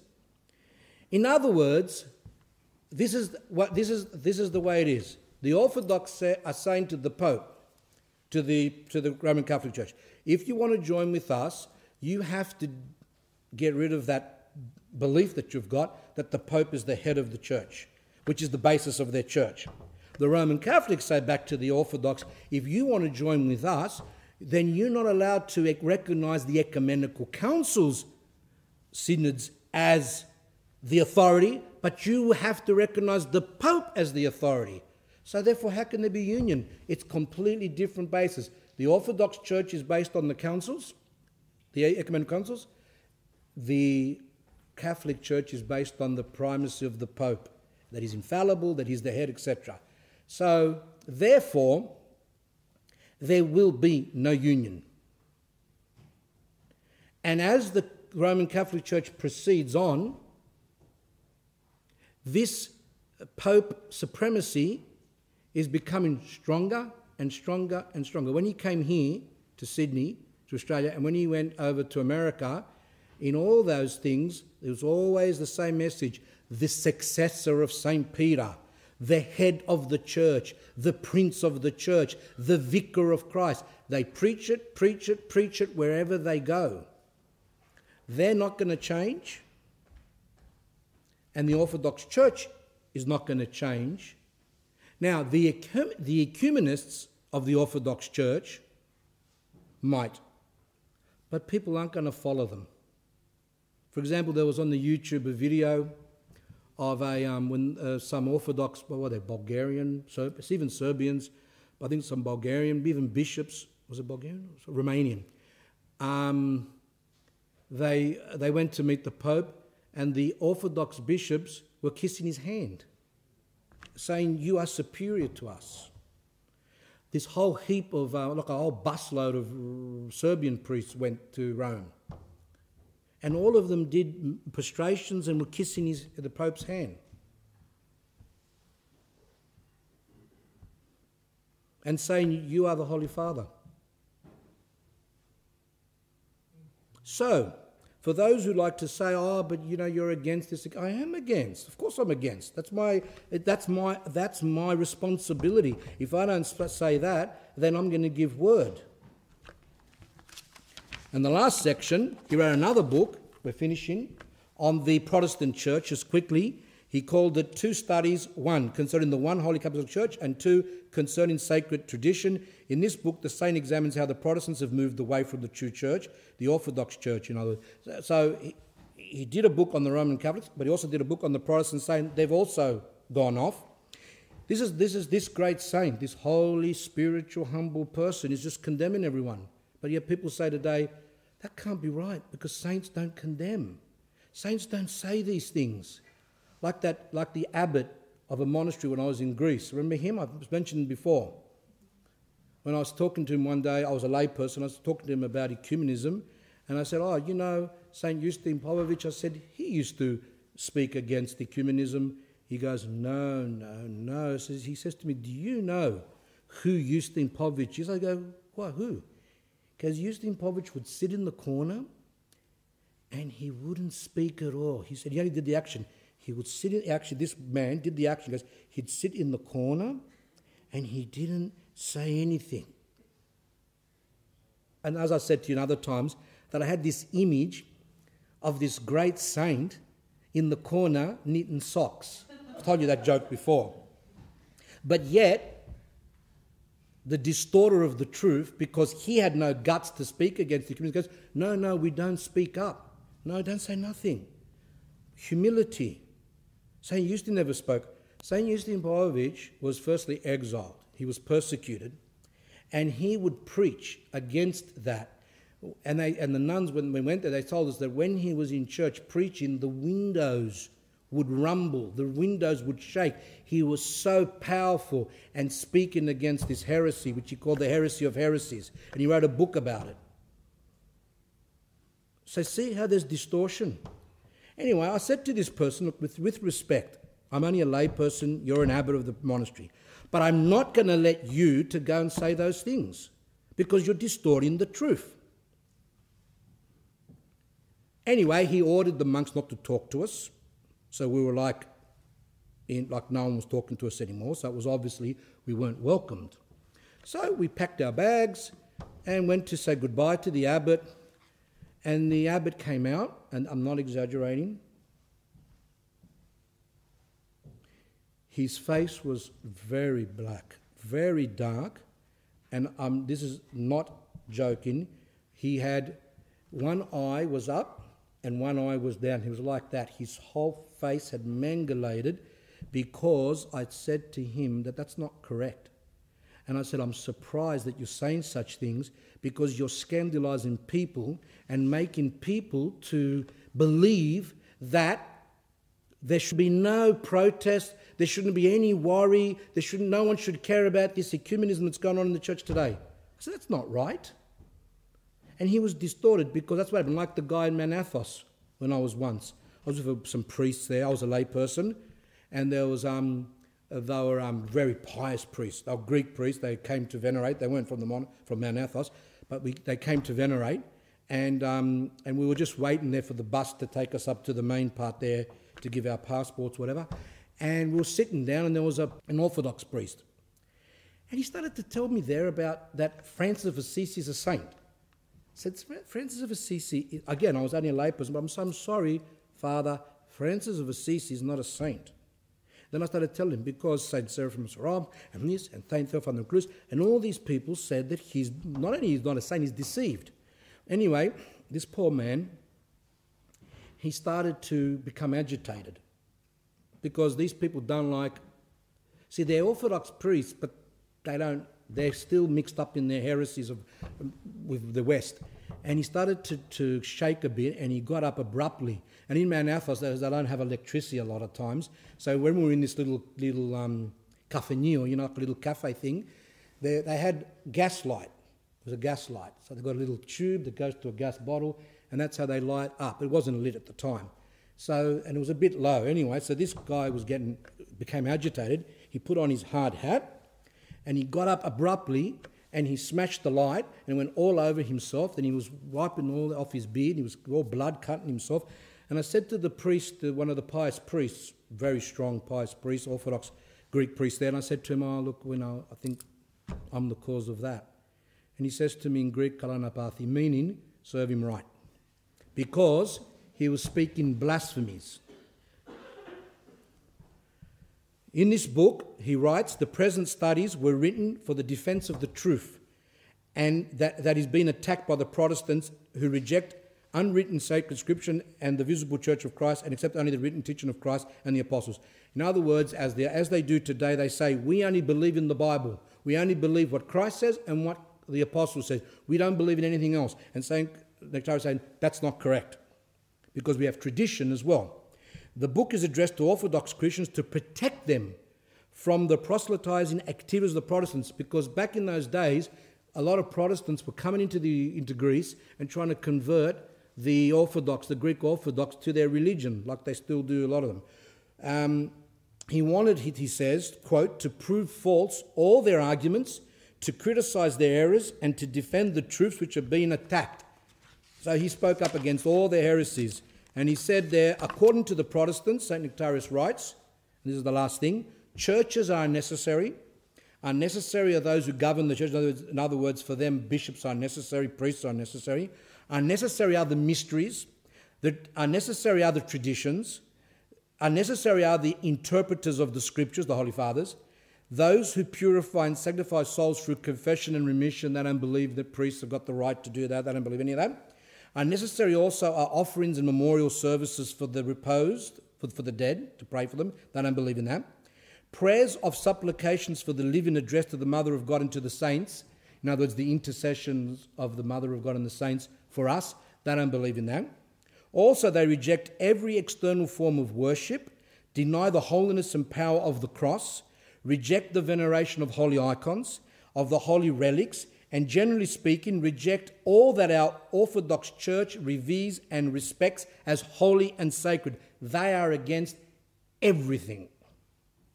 And the topics that he covers in there, where he talks, he actually does the topics which is concerning the mysteries, he talks about that, concerning the Mother of the Lord, concerning the precious cross, concerning the saints, concerning holy icons, concerning holy relics, concerning holy memorial service, concerning beeswax and oils as, and oil as offerings, and concerning incense, concerning fasts, because I don't believe in fasts, concerning the dedication of holy virgins to God, for people to dedicate themselves in monasticism, in other words, and etc. So St. Nektarios completely exposes them and says that those things that they're doing are wrong.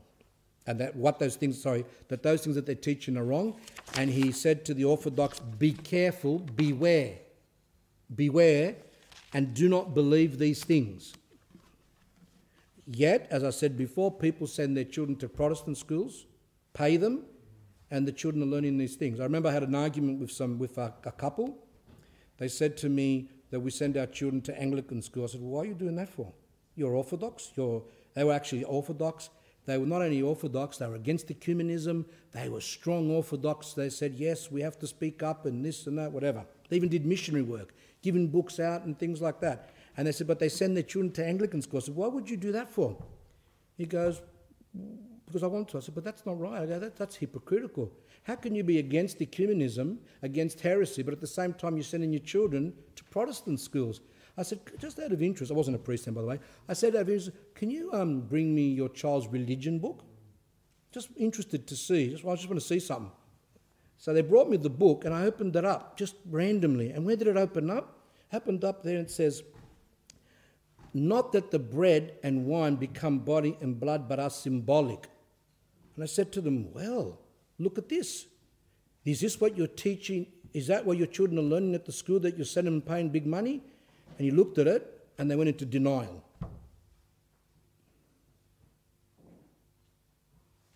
Never forgave me, that man. Never forgave me. Right up to the time that he passed away, never forgave me. Because um, St. Nicodemus says, even if you're going to say something to someone which is the truth, they don't want to believe it, your duty is to say it with, with love, properly, which I did. I begged him for, many, for, for a long time. For years, I actually told him, please don't send your children there. And St. Nicodemus says, if they don't believe you and they hate you after, great is your reward in heaven. He says, little reward are for those who help someone who you know are going to listen to you. He goes, there you don't get much of a reward. It's good that you tell them, but they're going to listen to you anyway. That's okay. But he said, great is your reward when you tell someone something that you, that you strongly believe probably will not believe you. And those pe- to Orthodox Christians, and those people, if they end up hating you, you can't hate them back, but God will reward you because you opened yourself up to this great problem where those people don't like you anymore. Okay, we didn't have time to finish everything, so that's okay. Um, just a quick question, just quickly, one minute, two minutes. Anyone? Yes? How many volumes did you write about the um, uh, why the schism? Well, that was a two volume set of 500 and something pages. Didn't, didn't mince words, did he? See, today people are using the word. A lot of a lot of the clergy are gutless. That's that's the truth. So therefore, they say they hide under this thing called humility. So what they do is they say Christ said we have to be humble, and to be humble you don't speak, you don't say anything, and that's really good because you people can still think you're a holy person. No one's going to hate you because you're not going against their sins, and yet, and yet, you're doing the worst sin of them all because you're not talking the truth to the people. That's the priest's job. And if the priest can't do it, doesn't want to do it, then he should not continue. You see? That's the thing. That's not judgment. That's the fact. That, that, that, that's a fact. The demons today sit, sit here and lock. They lock the mouths of a lot of people not to speak. Saint Nektarios was persecuted and hated because he spoke.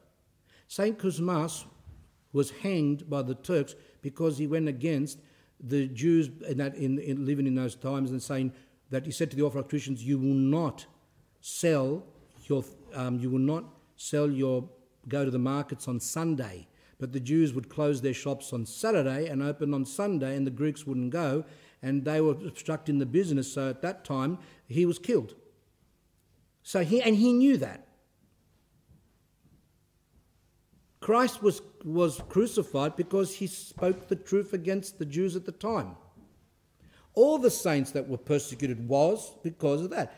The, all the prophets, this notion, this thing of no, that's not what a priest is fun. A priest is to do weddings and and talk to the children, give them a, a caramel, like a little um, lolly now and then for Easter, give them an, an, egg, which is usually not boiled properly, and then that's um, and then that's what the, that's what the priest's function is.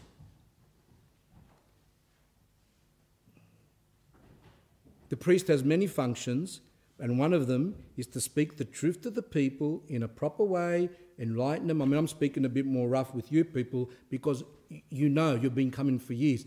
But if I was in a church where it was new people, people that don't know much, I wouldn't be speaking like I'm speaking now. What I would do there is still try and say the same thing, but in a more gentle way, but still saying the truth.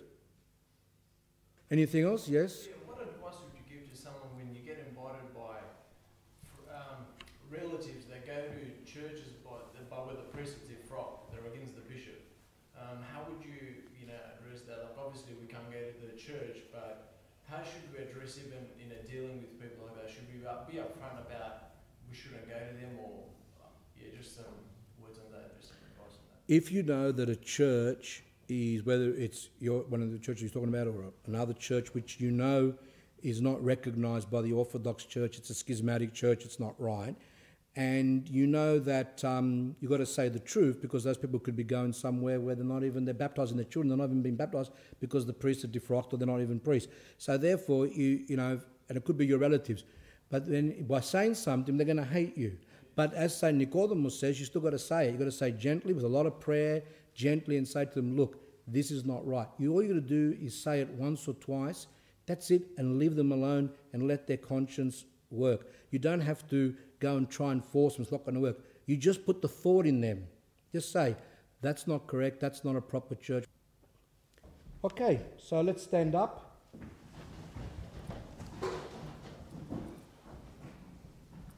through the praise of our Holy Fathers, Lord Jesus Christ, the God of mercy, and save us. Amen.